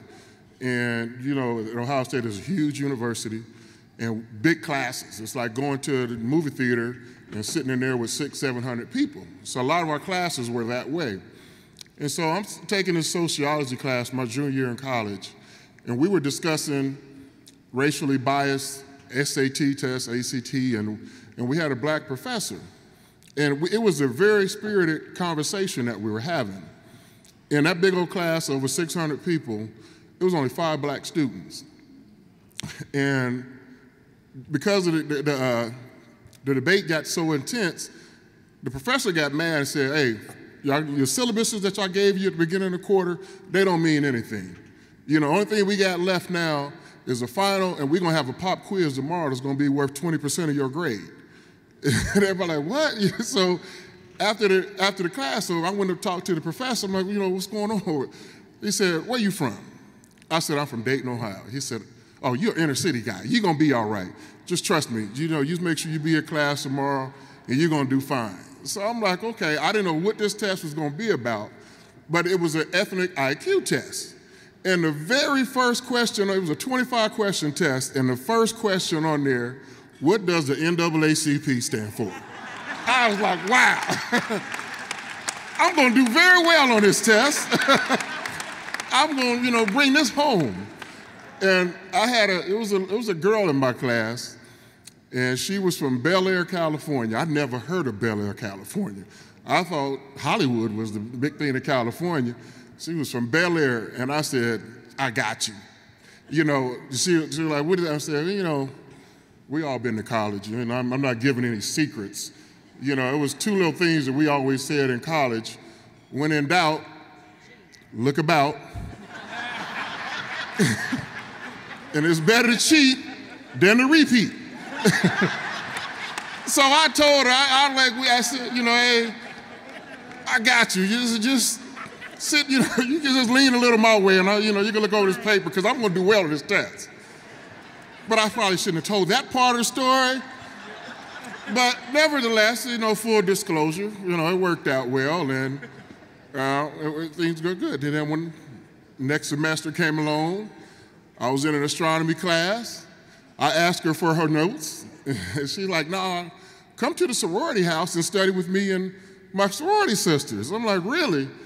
And they had the last five years' tests from this astronomy class. And I'm like, no wonder y'all guys join sororities and fraternities. So I did very well in that class too.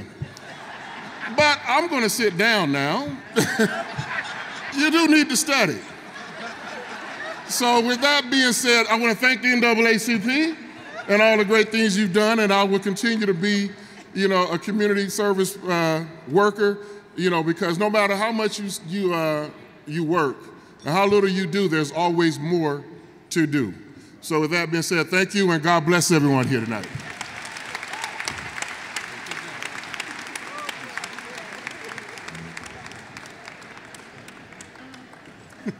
All right. It's better to cheat than repeat. That's a good one there. oh, Lord. All right. Uh, so we're here now for the President's Award, but one thing I want to do real quick is I want to acknowledge three people. Uh, number one, uh, we do have the president, the state president of the uh, A. Philip Randolph Institute in here, stand to be recognized, Andre, and who also serves on, on the state board with us for the NAACP. Uh, you know, then we have um, another president here from Middletown, Ohio, by the way, to President Dora Bronson. Please stand to be recognized for the NAACP. President. And then we also have my friend right down the street in Springfield, Ohio. Uh, you know, in the other direction, uh, President Denise Williams, stand to be recognized. So even if you go outside of our boundaries in Montgomery County, if somebody goes up towards Columbus, they're going to deal with her. They go down toward uh, down towards Cincinnati, they're going to deal with uh, the other president. So we got it locked down here in Southwest Ohio. All right. So, uh, so I got a couple of um, presentations I want to do before I can do the President's Award. These two people I want to recognize uh, with a President's Award of Merit. And I want to ask that Judge Mia Wortham Spells and Dayton City Commissioner Christopher L. Shaw come up for a second.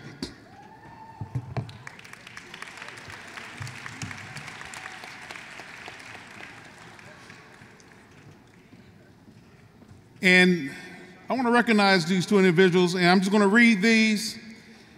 And basically, they say Dayton Unit NAACP 65th Annual Freedom Fund Banquet, President's Award of Merit, presented to Dayton City Commissioner Christopher L. Shaw and Dayton Municipal Court Judge Mia Wortham Spells for serving in my cabinet since day one of my presidency. You served honorably for 10 years as the chair of the Dayton Unit Economic Development Committee, Chris Shaw, and as the chair of the Dayton Unit NAACP Legal Redress Committee, Judge Spells. You have truly been a blessing to our organization. The Dayton Unit NAACP produces leaders at all levels. Let's recognize these two individuals.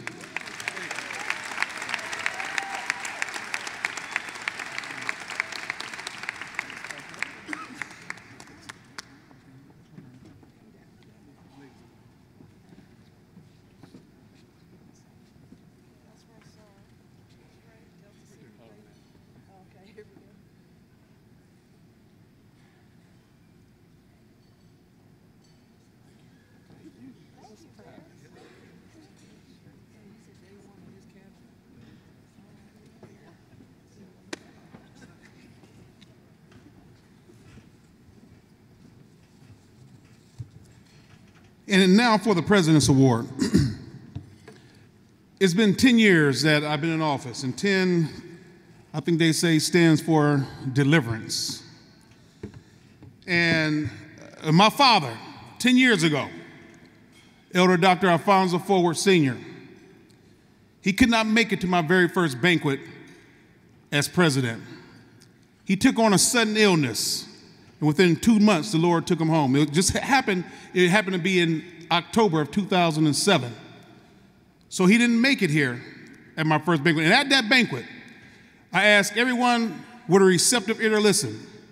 I said, please keep my father in prayer because he was going through some challenging times.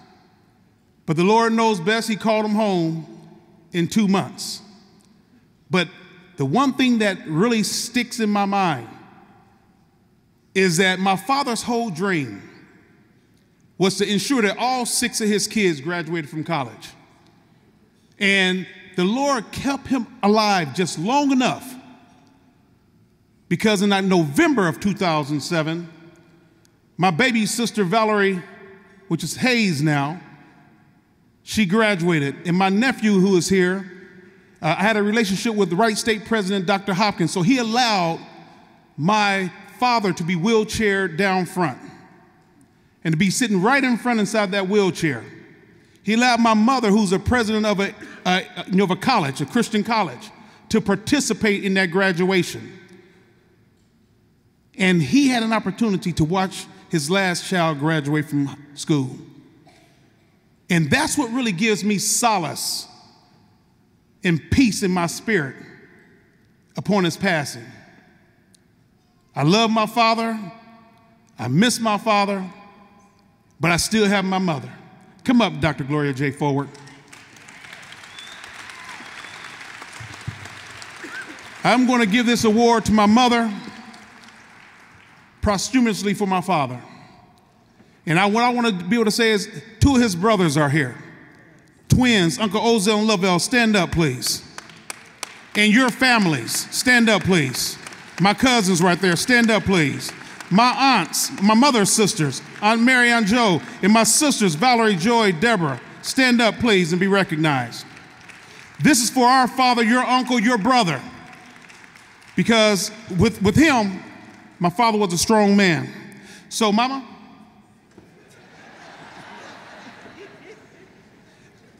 I'm just going to say, I didn't put a lot of words on here. I just said uh, Dayton NAACP President's Award presented to presented posthumously to Elder Dr. Alfonso Forward Sr., a man among men, uh, God's man of faith, wisdom, and integrity.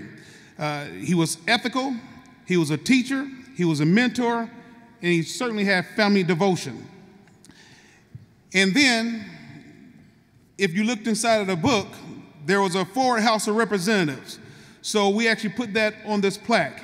And uh, Mama, I love you. I miss my father. I love you, but you accepted it on my father's behalf. Thank you. Thank everyone for being here for this great uh, Freedom Fund banquet. I thank my son because you never know if you follow the scripture, train them up in the way that they should go, then God will bless them throughout their lives. That's a paraphrase. The scripture actually says, train them up the way they should go, and when they are old, they will not depart. One person that's here tonight is my pastor, Pastor Scales and Mother Scales. I think this might be the first time that they have attended such a great occasion. I thank you for coming out.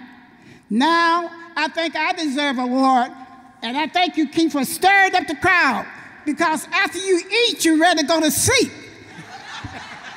but I think you stayed long enough to hear our honorable judge.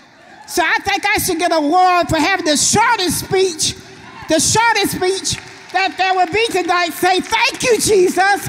Thank you, Jesus. Thank you, Jesus. All right.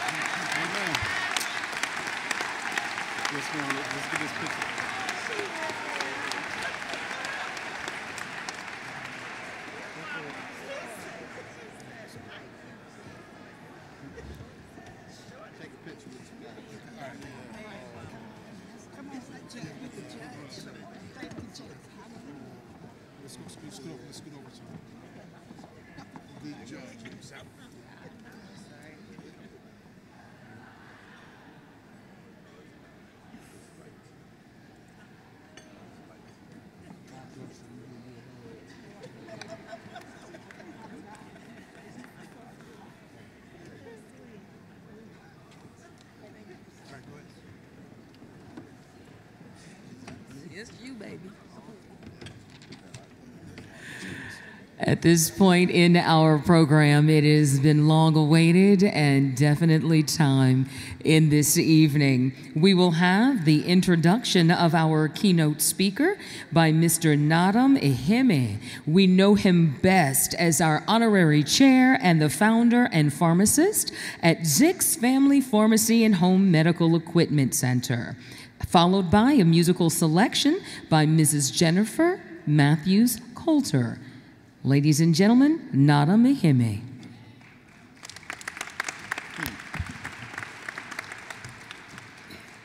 Good evening. I will be real, real brief because the judge has said. you know, a judge courtroom, Judge Martin's courtroom, whatever you want, he will give it to you. But prior to that, um, Derek came into the pharmacy one day, and so one evening, usually, he comes in very late when we're ready to close. and he said to me, Hey, Nadam, come here. I need to talk to you. I said, Okay, boss. I stepped out of the pharmacy. He said to me, I really want you to think about being an honorary chair for the Freedom Banquet. I said, What does that take? he didn't even say it openly, he just murmured into my ears. I said, Okay, my wife is not here. Let me talk to my wife. Got home, talked to my wife. Then my, my wife said, Okay, whatever you want to do, think about it. But what happened was NAACP represents, without NAACP, I may not be here. And it's because of the work, the sweat, the cry, the lynching that other people have done, our foreparents have done. That's why we're here today. I said I must support the organizations that represents me. I called I called Derek, I called Derek the next few days and said, yes, we're going to do it. And today, on behalf of Zix Associates, we are excited to be part of this because this is our community. And that's why Zix in the community in 2009. The major pharmacies, drugstores, they were leaving West Dayton. One closed up on Hoover, one closed up on Salem Avenue, and within the Wright Dunbar neighborhood, you have a lot of elderly population. Some of them do not have rides to get to either to their doctor or even get to the pharmacy. Bootsy and Wright Dunbar Group made a call to me. I said, okay, I don't really want to work in the pharmacy because I'm retired. But eventually they convinced me. My wife and I, who happens to be a pharmacist, we said to each other if, you, if we're going to open up a pharmacy, we need to open up a pharmacy that has a soul, that really cares, but most importantly, treat our people with dignity and respect.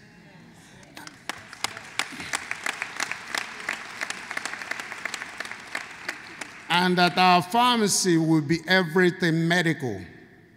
Today, I'm here to report to you. We have a pharmacy, we have medical equipment, we have diabetic shoes, power wheelchair, and we're also having a home health care. But most importantly, my vision and the vision of the team is for Zix Family Pharmacy to be a custodian of everything that is medical.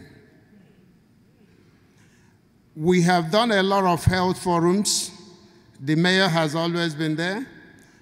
We have brought in, um, uh, last Friday, we had Tom Joyner talking about the health and welfare of our community because it's so important if we're not healthy, we're not going to be wealthy in our community. And health is very important. And from all health indices, from dialysis to high blood pressure, is our people. And that's our mission. And that's why we are collaborating with everybody in Dayton to make our community a better place, but most importantly, to create jobs within our community. We started off with four employees. Today, we, are 20, we, are, we have 28 employees within our community. And that's something great that we cherish. And we invite you to be, and I see a lot of Zix people that come to our pharmacy I really thank you. If you're still on the sideline, our doors are open. And most importantly, with the insurance and everything and the open enrollment, We really want to be the custodian. On Thursdays and Fridays, we have brought the navigators. These are people that look at your coverage, they look at your income. If you're 65, they tell you what kind of insurance best fits your needs. And we have brought them to the pharmacy. We don't want people with the open enrollment that ends December 7th. We want people to please, if you don't have insurance, please come over to Zix. We work with the navigators and we should be able to find you something. Because for our community to be wealthy, we have to be healthy.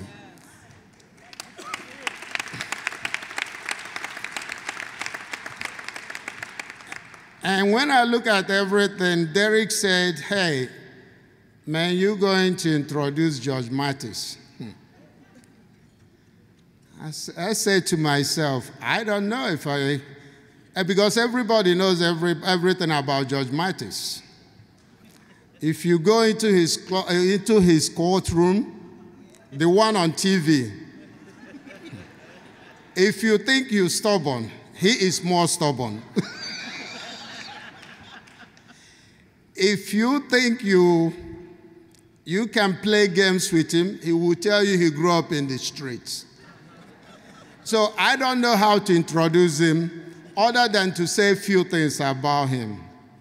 George Mathis is a national figure known for advocacy campaign for urban youth and equal justice.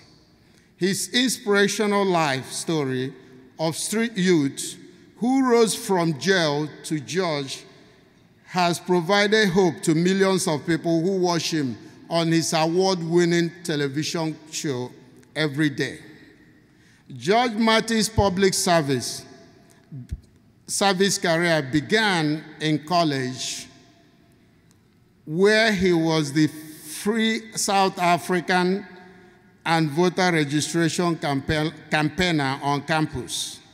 After graduating from college in 1983, he joined staff of Detroit City Council, Clyde Cleveland, and continued his work as advocate for equal justice with Reverend Jesse Jackson's Push Excellency, where he currently serves as the chairman. George Mathis has served as national board, board member of NAPC and the Morehouse School of Medicine. In his efforts to reach out to young and ex-offenders, both in and outside of the courtroom, George Mathis opened the George Mathis Community Center in his hometown, Detroit. In his assistance of uh, thousands of youths with his nonprofit agency, young adults asserting themselves, the acronym YAAT, an agency which provides career, business startup, and job opportunities, as well as job training and college enrollment assistance. In 2009, in honor of his work and commitment to his hometown of Detroit, the city named one of the streets the streets he used to walk from, a, from one end to the other. They named him uh, George Mathis Avenue after him. So, what he was thinking when he was young, he didn't know that that particular street would be named after George Mathis. George, we're really proud of you.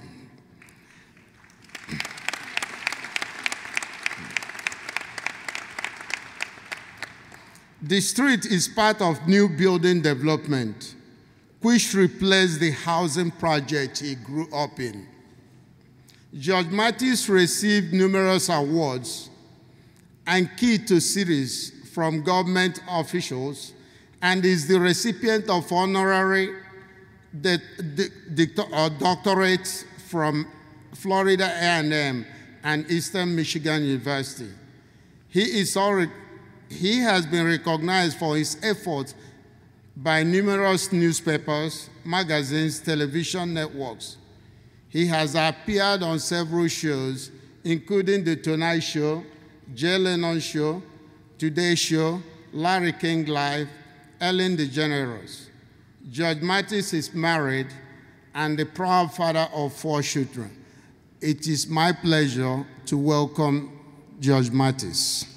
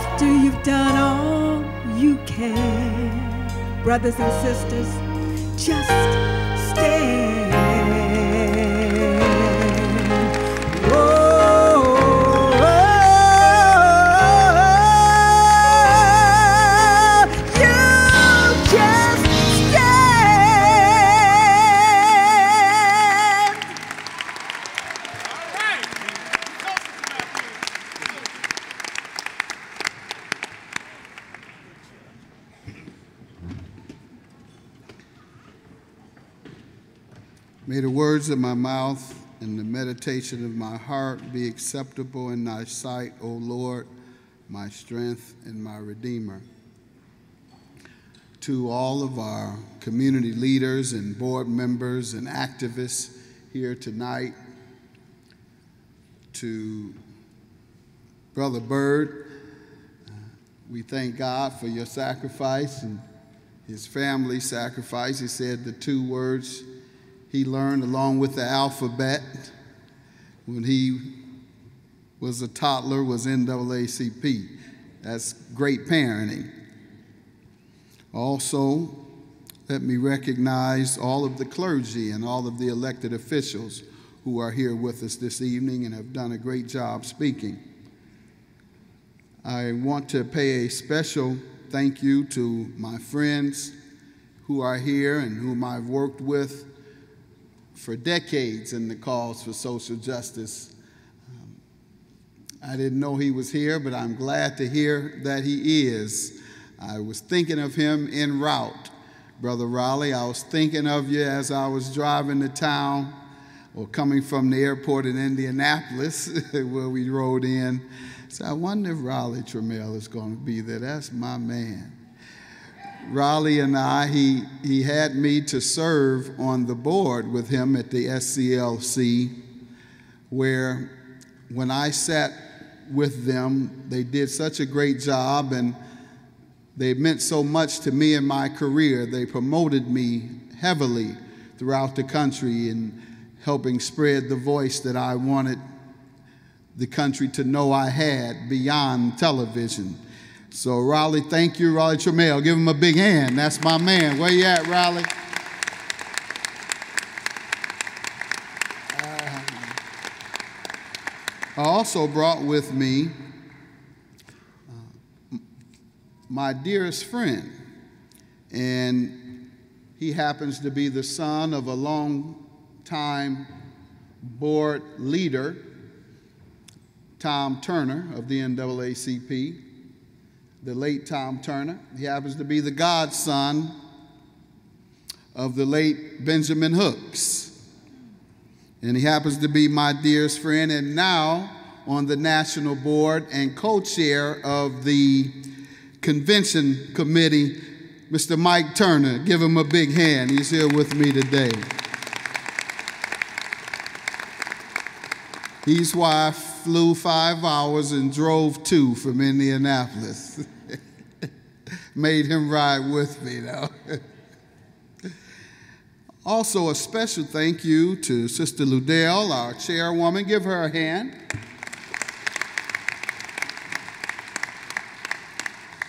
And certainly, we want to thank God for our chair tonight, Mr. Ihemi. Thank you. God bless you. Thank you for your help.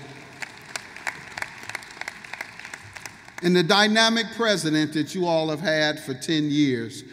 We thank God for him and all the work that he has done. This is heavy lifting, folks. This is no easy jobs. He has to deal with how many board members you have? 28 board members, and they all think they're president, no doubt. so he has to deal with 28 presidents, the elected officials who are gunning for him, those who don't love his work gunning for him. And then he has to earn a living for his family.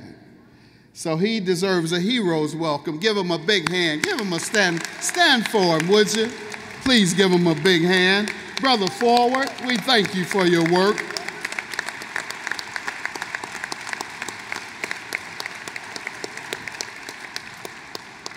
And to all the members of the dais, Forgive me for not being able to mention everyone, but thank you for all your service. You worked your way up here, no doubt. you worked your way in the community. And let me thank all of you for your support of me and over the years. This is our 18th year on television. It's been such a blessing. I served for five years as a judge in Detroit, and then when television came calling, I thought I'd have a bigger platform. And So I wanted to use that platform to spread the message of hope and inspiration that God blessed me to have. And thank you all also for the blessing to me and other young people, young adults, uh, such as myself. I guess I've been staying young since I've gotten on television. That's been 18 years.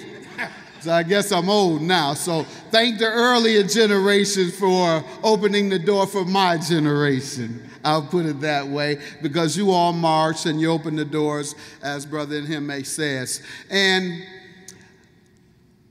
I'm not confused, and that's why I'm so committed and thank God for your support and your help and opening the doors. I know where my blessing came from. I know it was you all. I know it was the NAACP. I know it was the many organizations, the SCLC, that fought and bled for my generation to have the opportunity to be able to lead this country, indeed serve as president of this country. It was the Voting Rights Act that allowed us to become president some 50 years later. No Voting Rights Act, no president. And I believe in using my platform to benefit our community. And that's why I'm so glad that Brother Byars was here supporting the effort of social justice. And I'm so glad to see many of the athletes now supporting it. We have our brother in San Francisco, Kaepernick, who's taking so much heat for kneeling during the national anthem.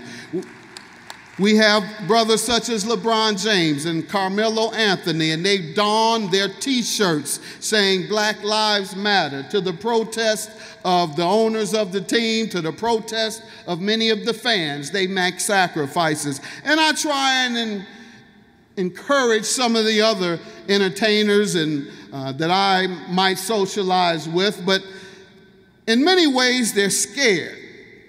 And I try and tell them it's nothing to be scared of. If you, if you work in your community and you have the support of your community, they'll be scared of you. The studio heads and the owners of these teams, if they know that you are supported by your community, if they know they're going to have to hear from the NAACP, and they're going to have to hear from Rainbow Push, and they're going to have to hear from SCLC, and don't let Sharpton call them. And they're going to have to hear from the Congressional Black Caucus. They're going to have to hear from Carson and many other Congress folks. They'll respect you.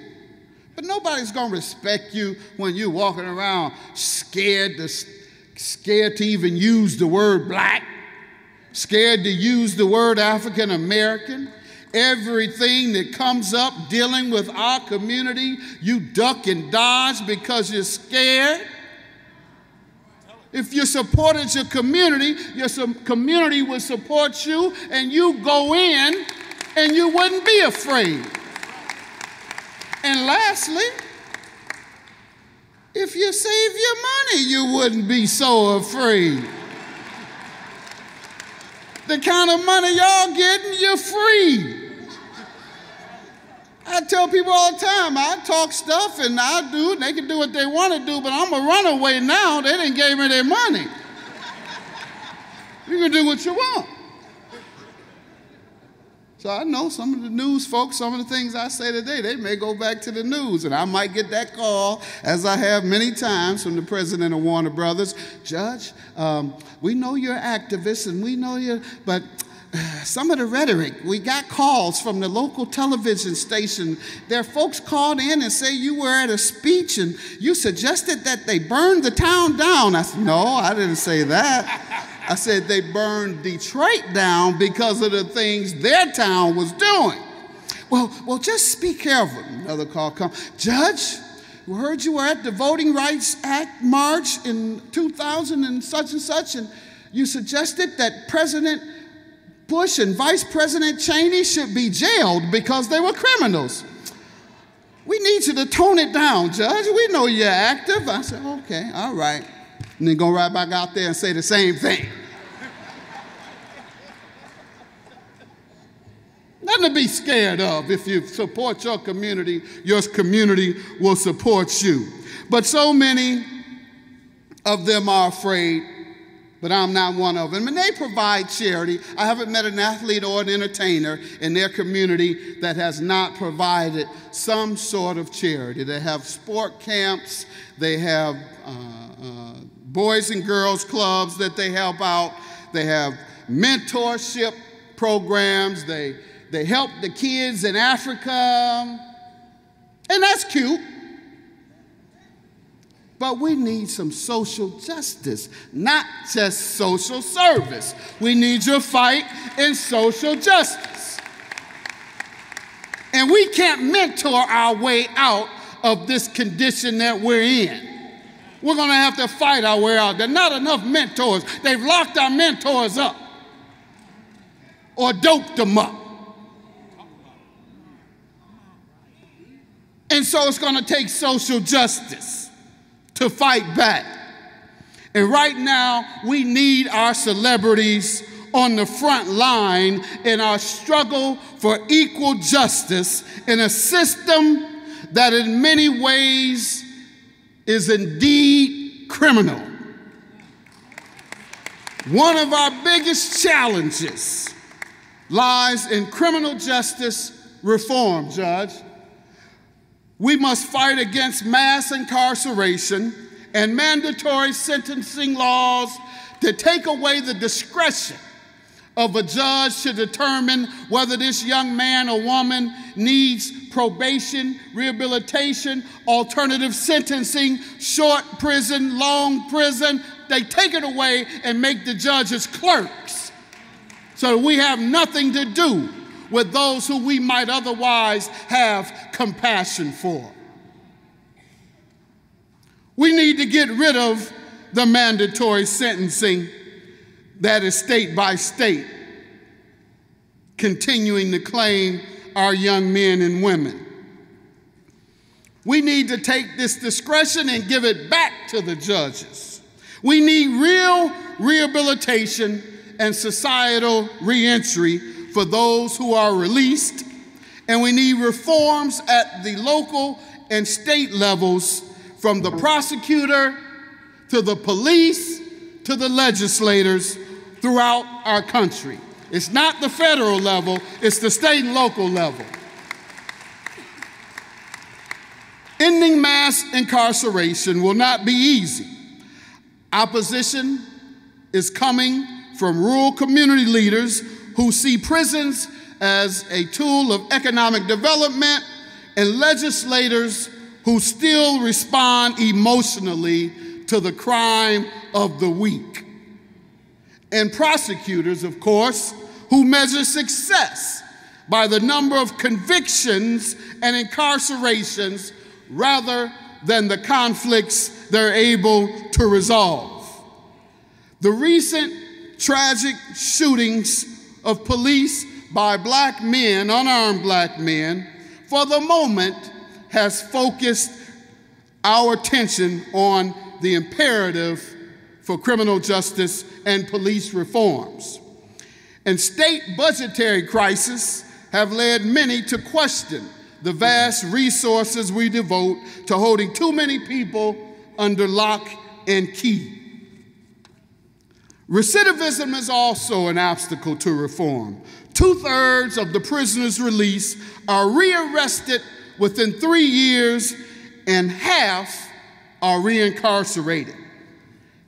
Many of those who return to prison, however, are there for violations of their technical parole requirements, not for committing any crimes that might harm others. And much of the problem is that the scale and cost of prison construction have limited resources for rehabilitation and making it difficult for offenders to find the employment and training that is necessary to stay straight. So we need to lock up less people on the front end as well as reintegrate and rehabilitate those who get caught up on the back end. Criminal justice reform, for the most part, is administered at the state level. 90% of those in prison are in state prisons. This means mass incarceration will only be diminished one state at a time. Now, as I was coming in, I heard your elected officials. I don't know if they're still here, but they were speaking, and I loved what I heard dedication, commitment to criminal justice reform, Second Chance Act, which put $200 million into a budget that needs 2 billion, et cetera, et cetera, a lot of cute things. I, I think that we need all those and we appreciate the support, but we need to see a sign that that fight is being held in rural America, where they want the prisons to continue to fuel their economy. We want the speech to go into the suburban communities. We want the speeches to go into, on Sunday, the most segregated day in America, to both churches. Talk black at the white church. We converted. Convert them.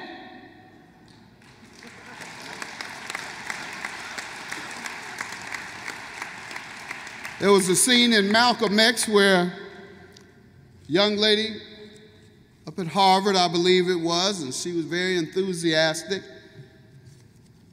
ran up to Malcolm said, Malcolm, I really want to fight the cause of, of black folks and I really want to help the black cause. He said, What can I do? He said, Nothing. She looked at him bewildered. What do you mean I can't do nothing? He said, You can't do nothing for the black cause. He said, We're not sick. He- the doctor goes where the sick are. Go help the white cause. They're sick.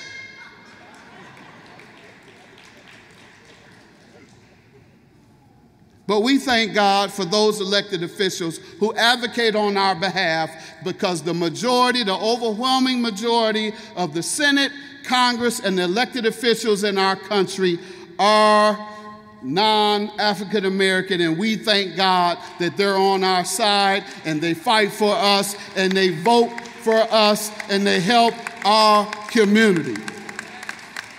Not confused about that either.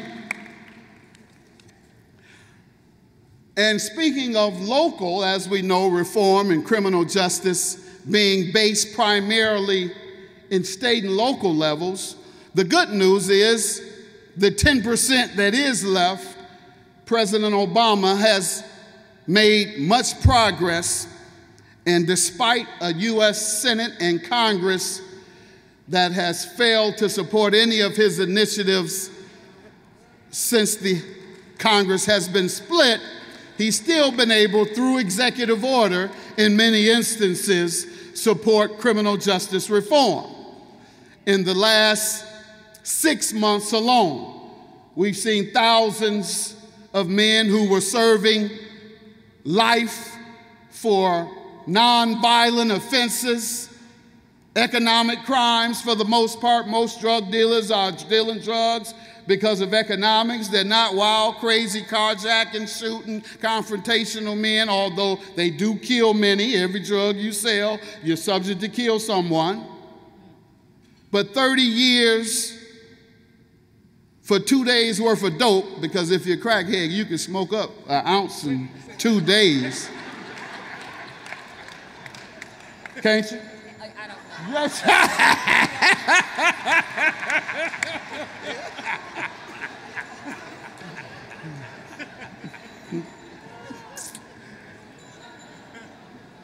But thank God that President Obama, he's doing the work really that Jesus did and that Jesus commanded us to do. In fact, his first act was as a healer. Affordable Health Care Act was to heal people. It was a healer. Then I was privileged to serve on my brother's keepers task force, suffer the children. We increase food subsidies for the poor, feeding the hungry. And in the last six months, eight, over 800 men have been pardoned, thousands have received clemency, free and the captives. Free in the captives. Setting the captives free.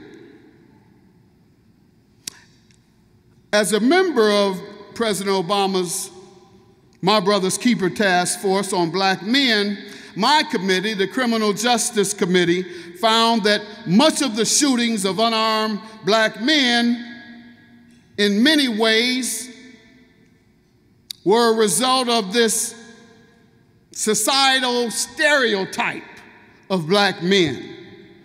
The media and others portray our black men as angry, violent, demonic sociopaths.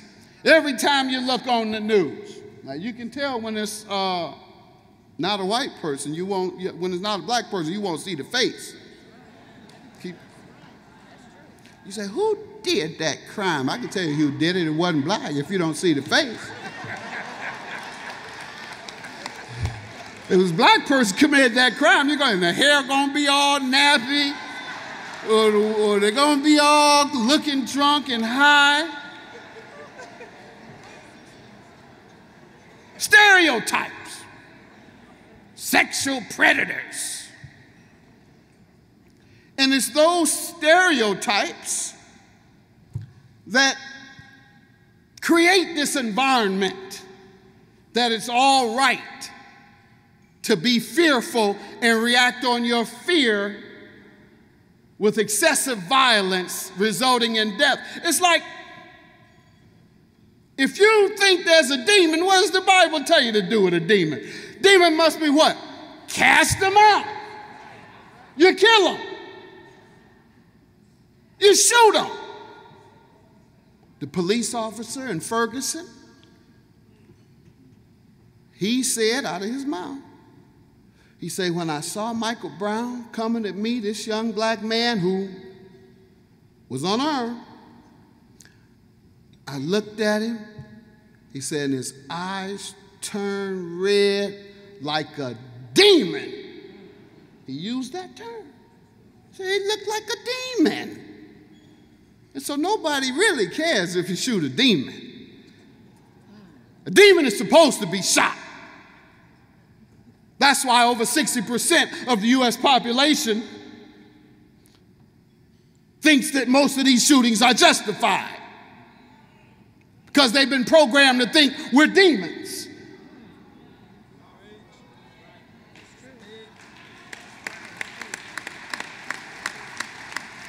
When the truth is, when the truth is, the best solution to crime is not a bullet, is not a prison. The best solution to crime is a job with livable wages. That's how you answer crime. That's how you answer crime. And I'm not talking about minimum wage as it stands now. $15 minimum wage, we're talking about that. But don't you think, and I apologize on their behalf, don't you think that these young black men are going to get out here and work for $6 an hour, 20 hours a week, can't support these babies? And we've seen that movie before. We've seen that movie before. Working for little or nothing. And I try to tell them, when they try to run to the corner, oh, white men don't want me. I said, you better go get your training and get to the, oh, if I get trained and go get a college, da, da, da, they ain't gonna want me. This the white man system. No, it ain't. This is our system. This land is our land. We worked over 300 years for free to make this the richest country in the world.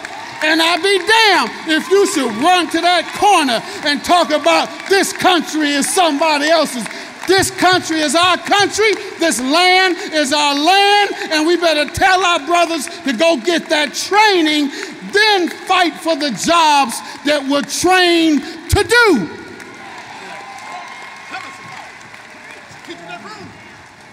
You know, you know, because we can't blame government for everything. I know we have to fight for community policing.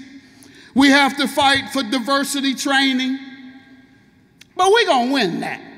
We've won everything we fought for. You do know that.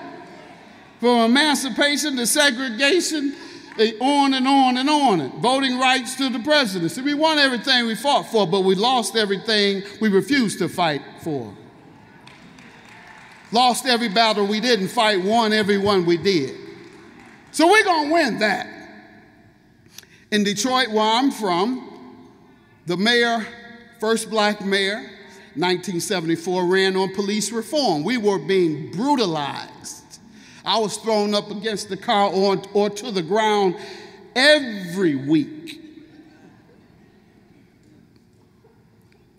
Overwhelming amount of time I didn't do anything. Maybe 10% of the time. But they didn't even throw me up against when for the stuff that I did. But that mayor, he ran on police reform, and when he came in, immediately diversified the police department, which had been 90% white, over a city at that time that was 60% black, like apartheid. Police training, diversity training, so the officers knew how to work and relate to the people they were to protect. The citizens began to trust them. They began to trust the citizens because the mayor established many police stations, many as in small, 12 mini stations around the city where the officers would walk the beat. The citizens would come in, talk with them, chew the fat ask them about their other services. They would have the regular police precincts where the police would be on patrol and their patrol units would go and come. Then we had neighborhood city halls, 12 neighborhood city halls throughout the city where the citizens could come in and interact with the government officials. So essentially, he established about 40 places of contact for the community and government officials, 25 of which were law enforcement. So they worked together. And you haven't heard much about unlawful or unarmed shootings in Detroit. It's because our mayor, Mayor Young, knew what he was doing. He knew what he was doing. But as I close, I also, once again, got to tell my brothers who are here that we can't blame everything on the government. Black men, we have to lay down our guns and pick up our books.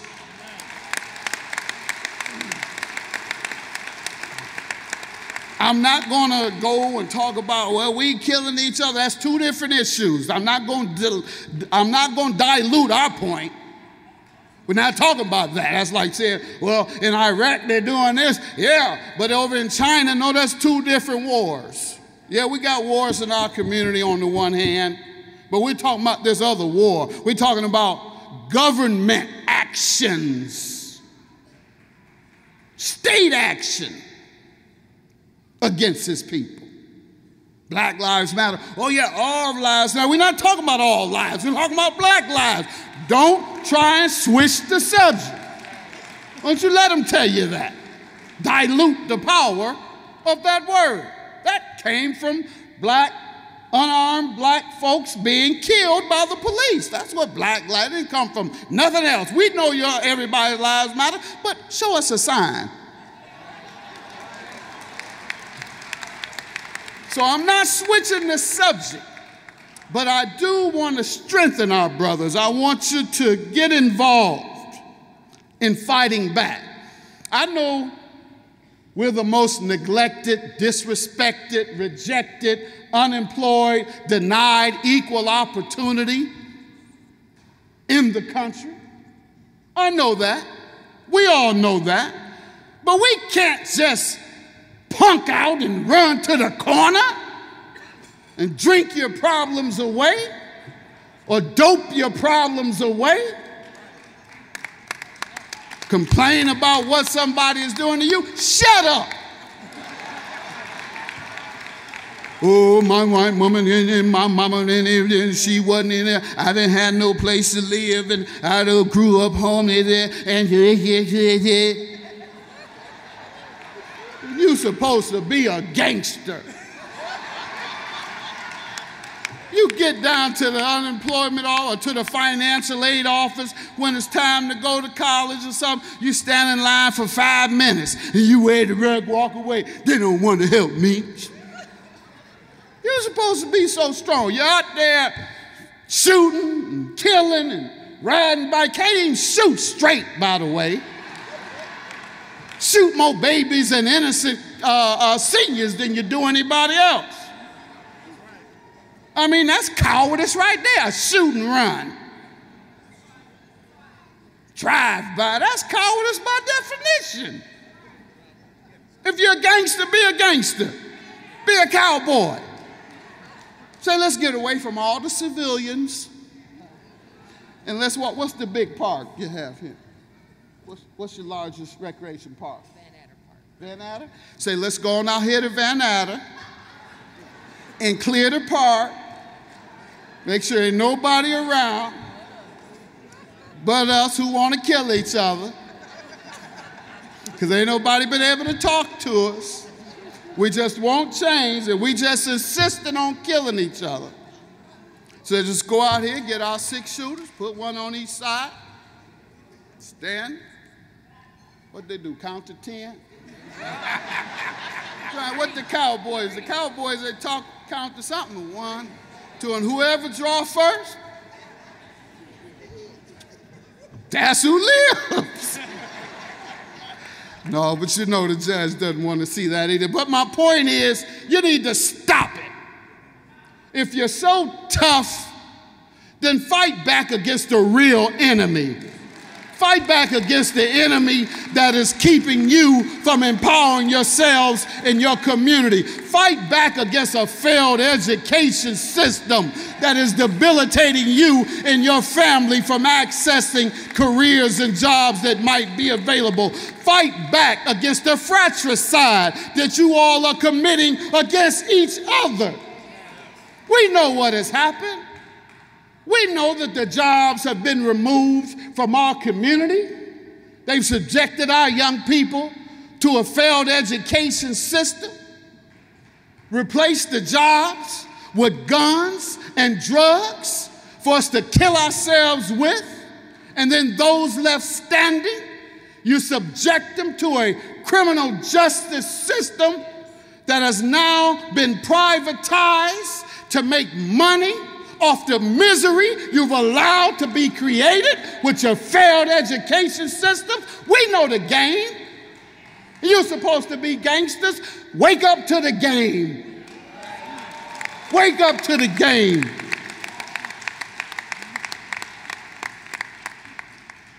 But we can't give up about it. Can't give up about it. We got to fight about it. We can't give up about it. We got to march about it. We got to protest about it. We got to rise up about it. And come November 8th, we got to vote about it. Thank you for listening. God bless you.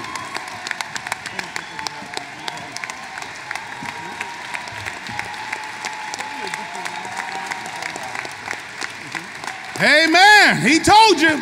He closes out with voting. Come on up here, Judge. We want to present the judge with this award. And it says Dayton Unit NAACP 65th Annual Freedom Fund Banquet Key- Keynote Speaker Award, presented to the Honorable Judge Greg Mathis in recognition of your innovative, pioneering, courageous leadership, which has held countless citizens of these United States of America accountable for their actions, especially as it relates to social, civil, and human rights issues. Continue to lead with energy, enthusiasm, and passion. We commend you for your many years of uncompromising advocacy as a champion for the NAACP civil rights movement. We salute you, Judge. We salute you. Eh, y- y- we're going to take a picture of your brother Michael Turner, who's an NAACP board member. Come up here. He actually went and picked the judge up. This is his friend. I've been knowing him for a long time. National board member of the NAACP, brother Michael Turner. Thank you for picking the judge up for us.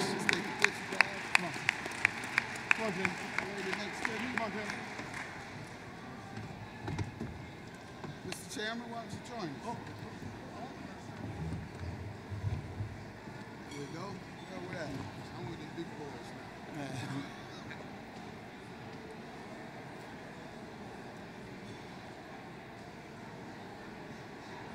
All right, thank you so much. Thank you again. Thank you. Thank you, Mr. Chairman, Judge. Thank you very so much. Uh, you know, lastly, I want to recognize our uh, Mistress of Ceremony this evening. Uh, Award of Excellence presented to Miss Faith Daniels in recognition for being an awesome Mistress of Ceremony, a woman of elegance, character, and resilience. Ludell. Lou, come on. All right, let's go. Then, then, then that's what you call the count.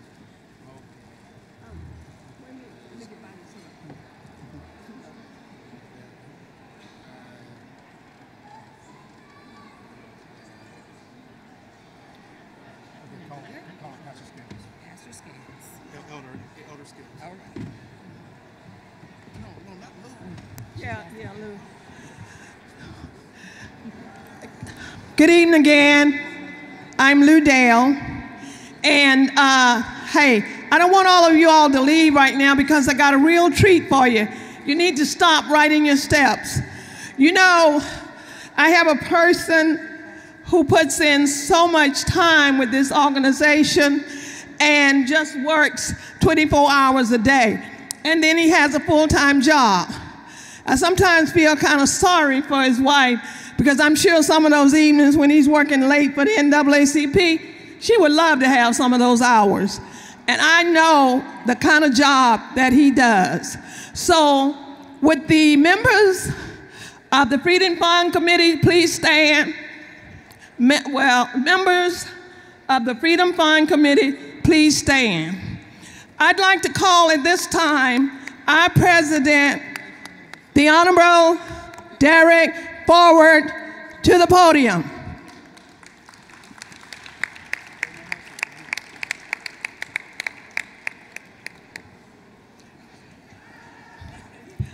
Uh-huh.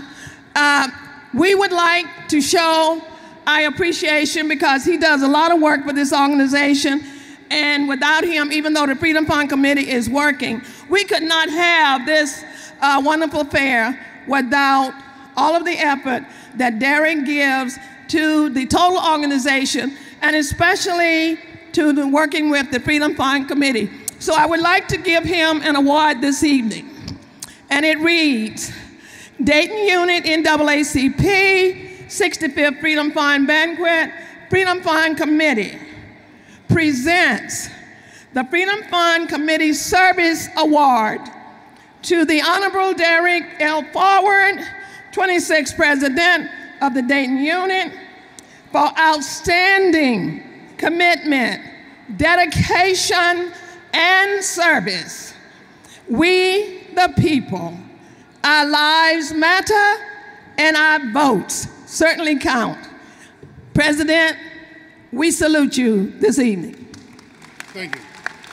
Thank you. Right, right, right, right.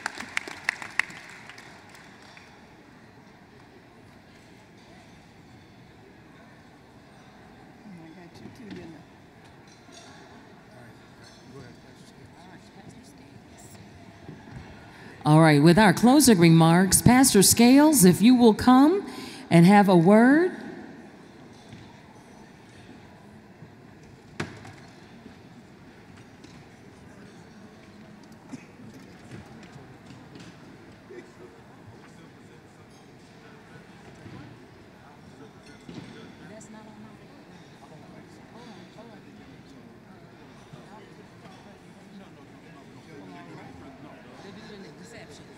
You're doing that in the president's reception.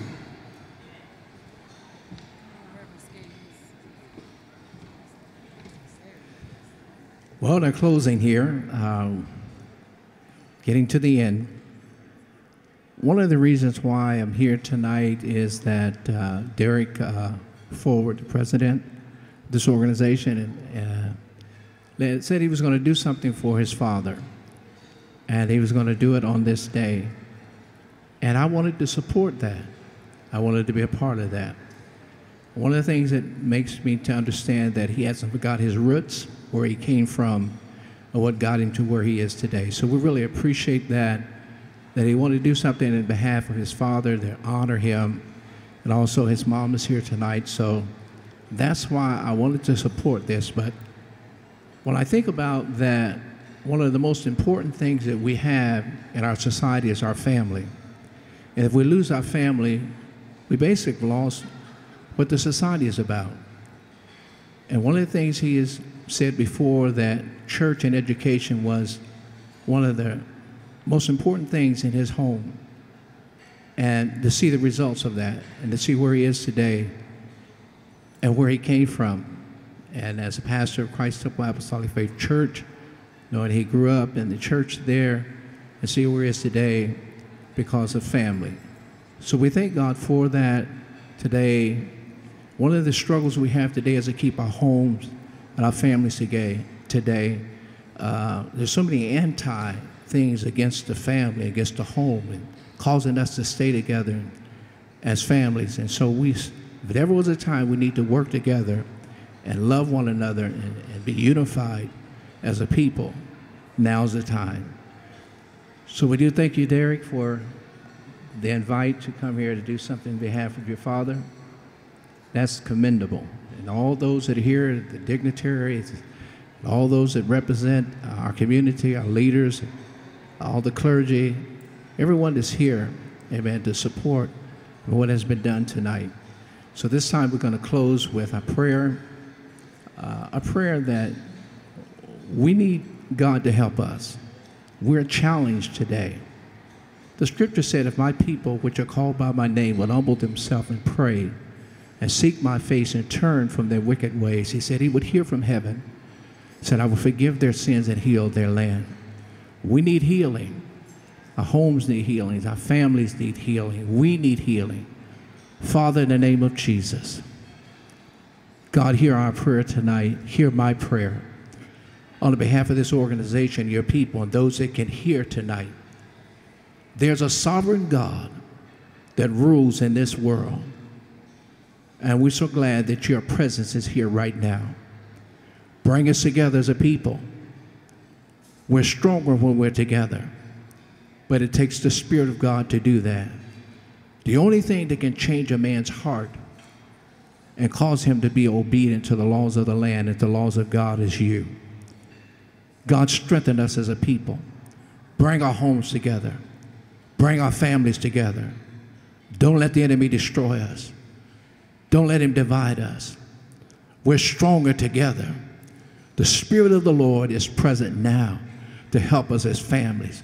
Get your children, get your family, get your home together. Father, we thank you for doing that tonight. Deal with the hearts of those that are here tonight and let them know that you're present to do that. That we can bring our families and our homes together under God in this country. Oh God, that's in trouble. They need your guidance and your leading. leading. Leaders need you. They need your wisdom. They need your knowledge. They need your understanding to direct and to lead. God, I thank you for doing that tonight in the name of Jesus. Satan, you are defeated. You are defeated foe. You will not have our families. You will not have our children. You will not have our homes. You will not have us. You will not have our minds. You will not have our marriages.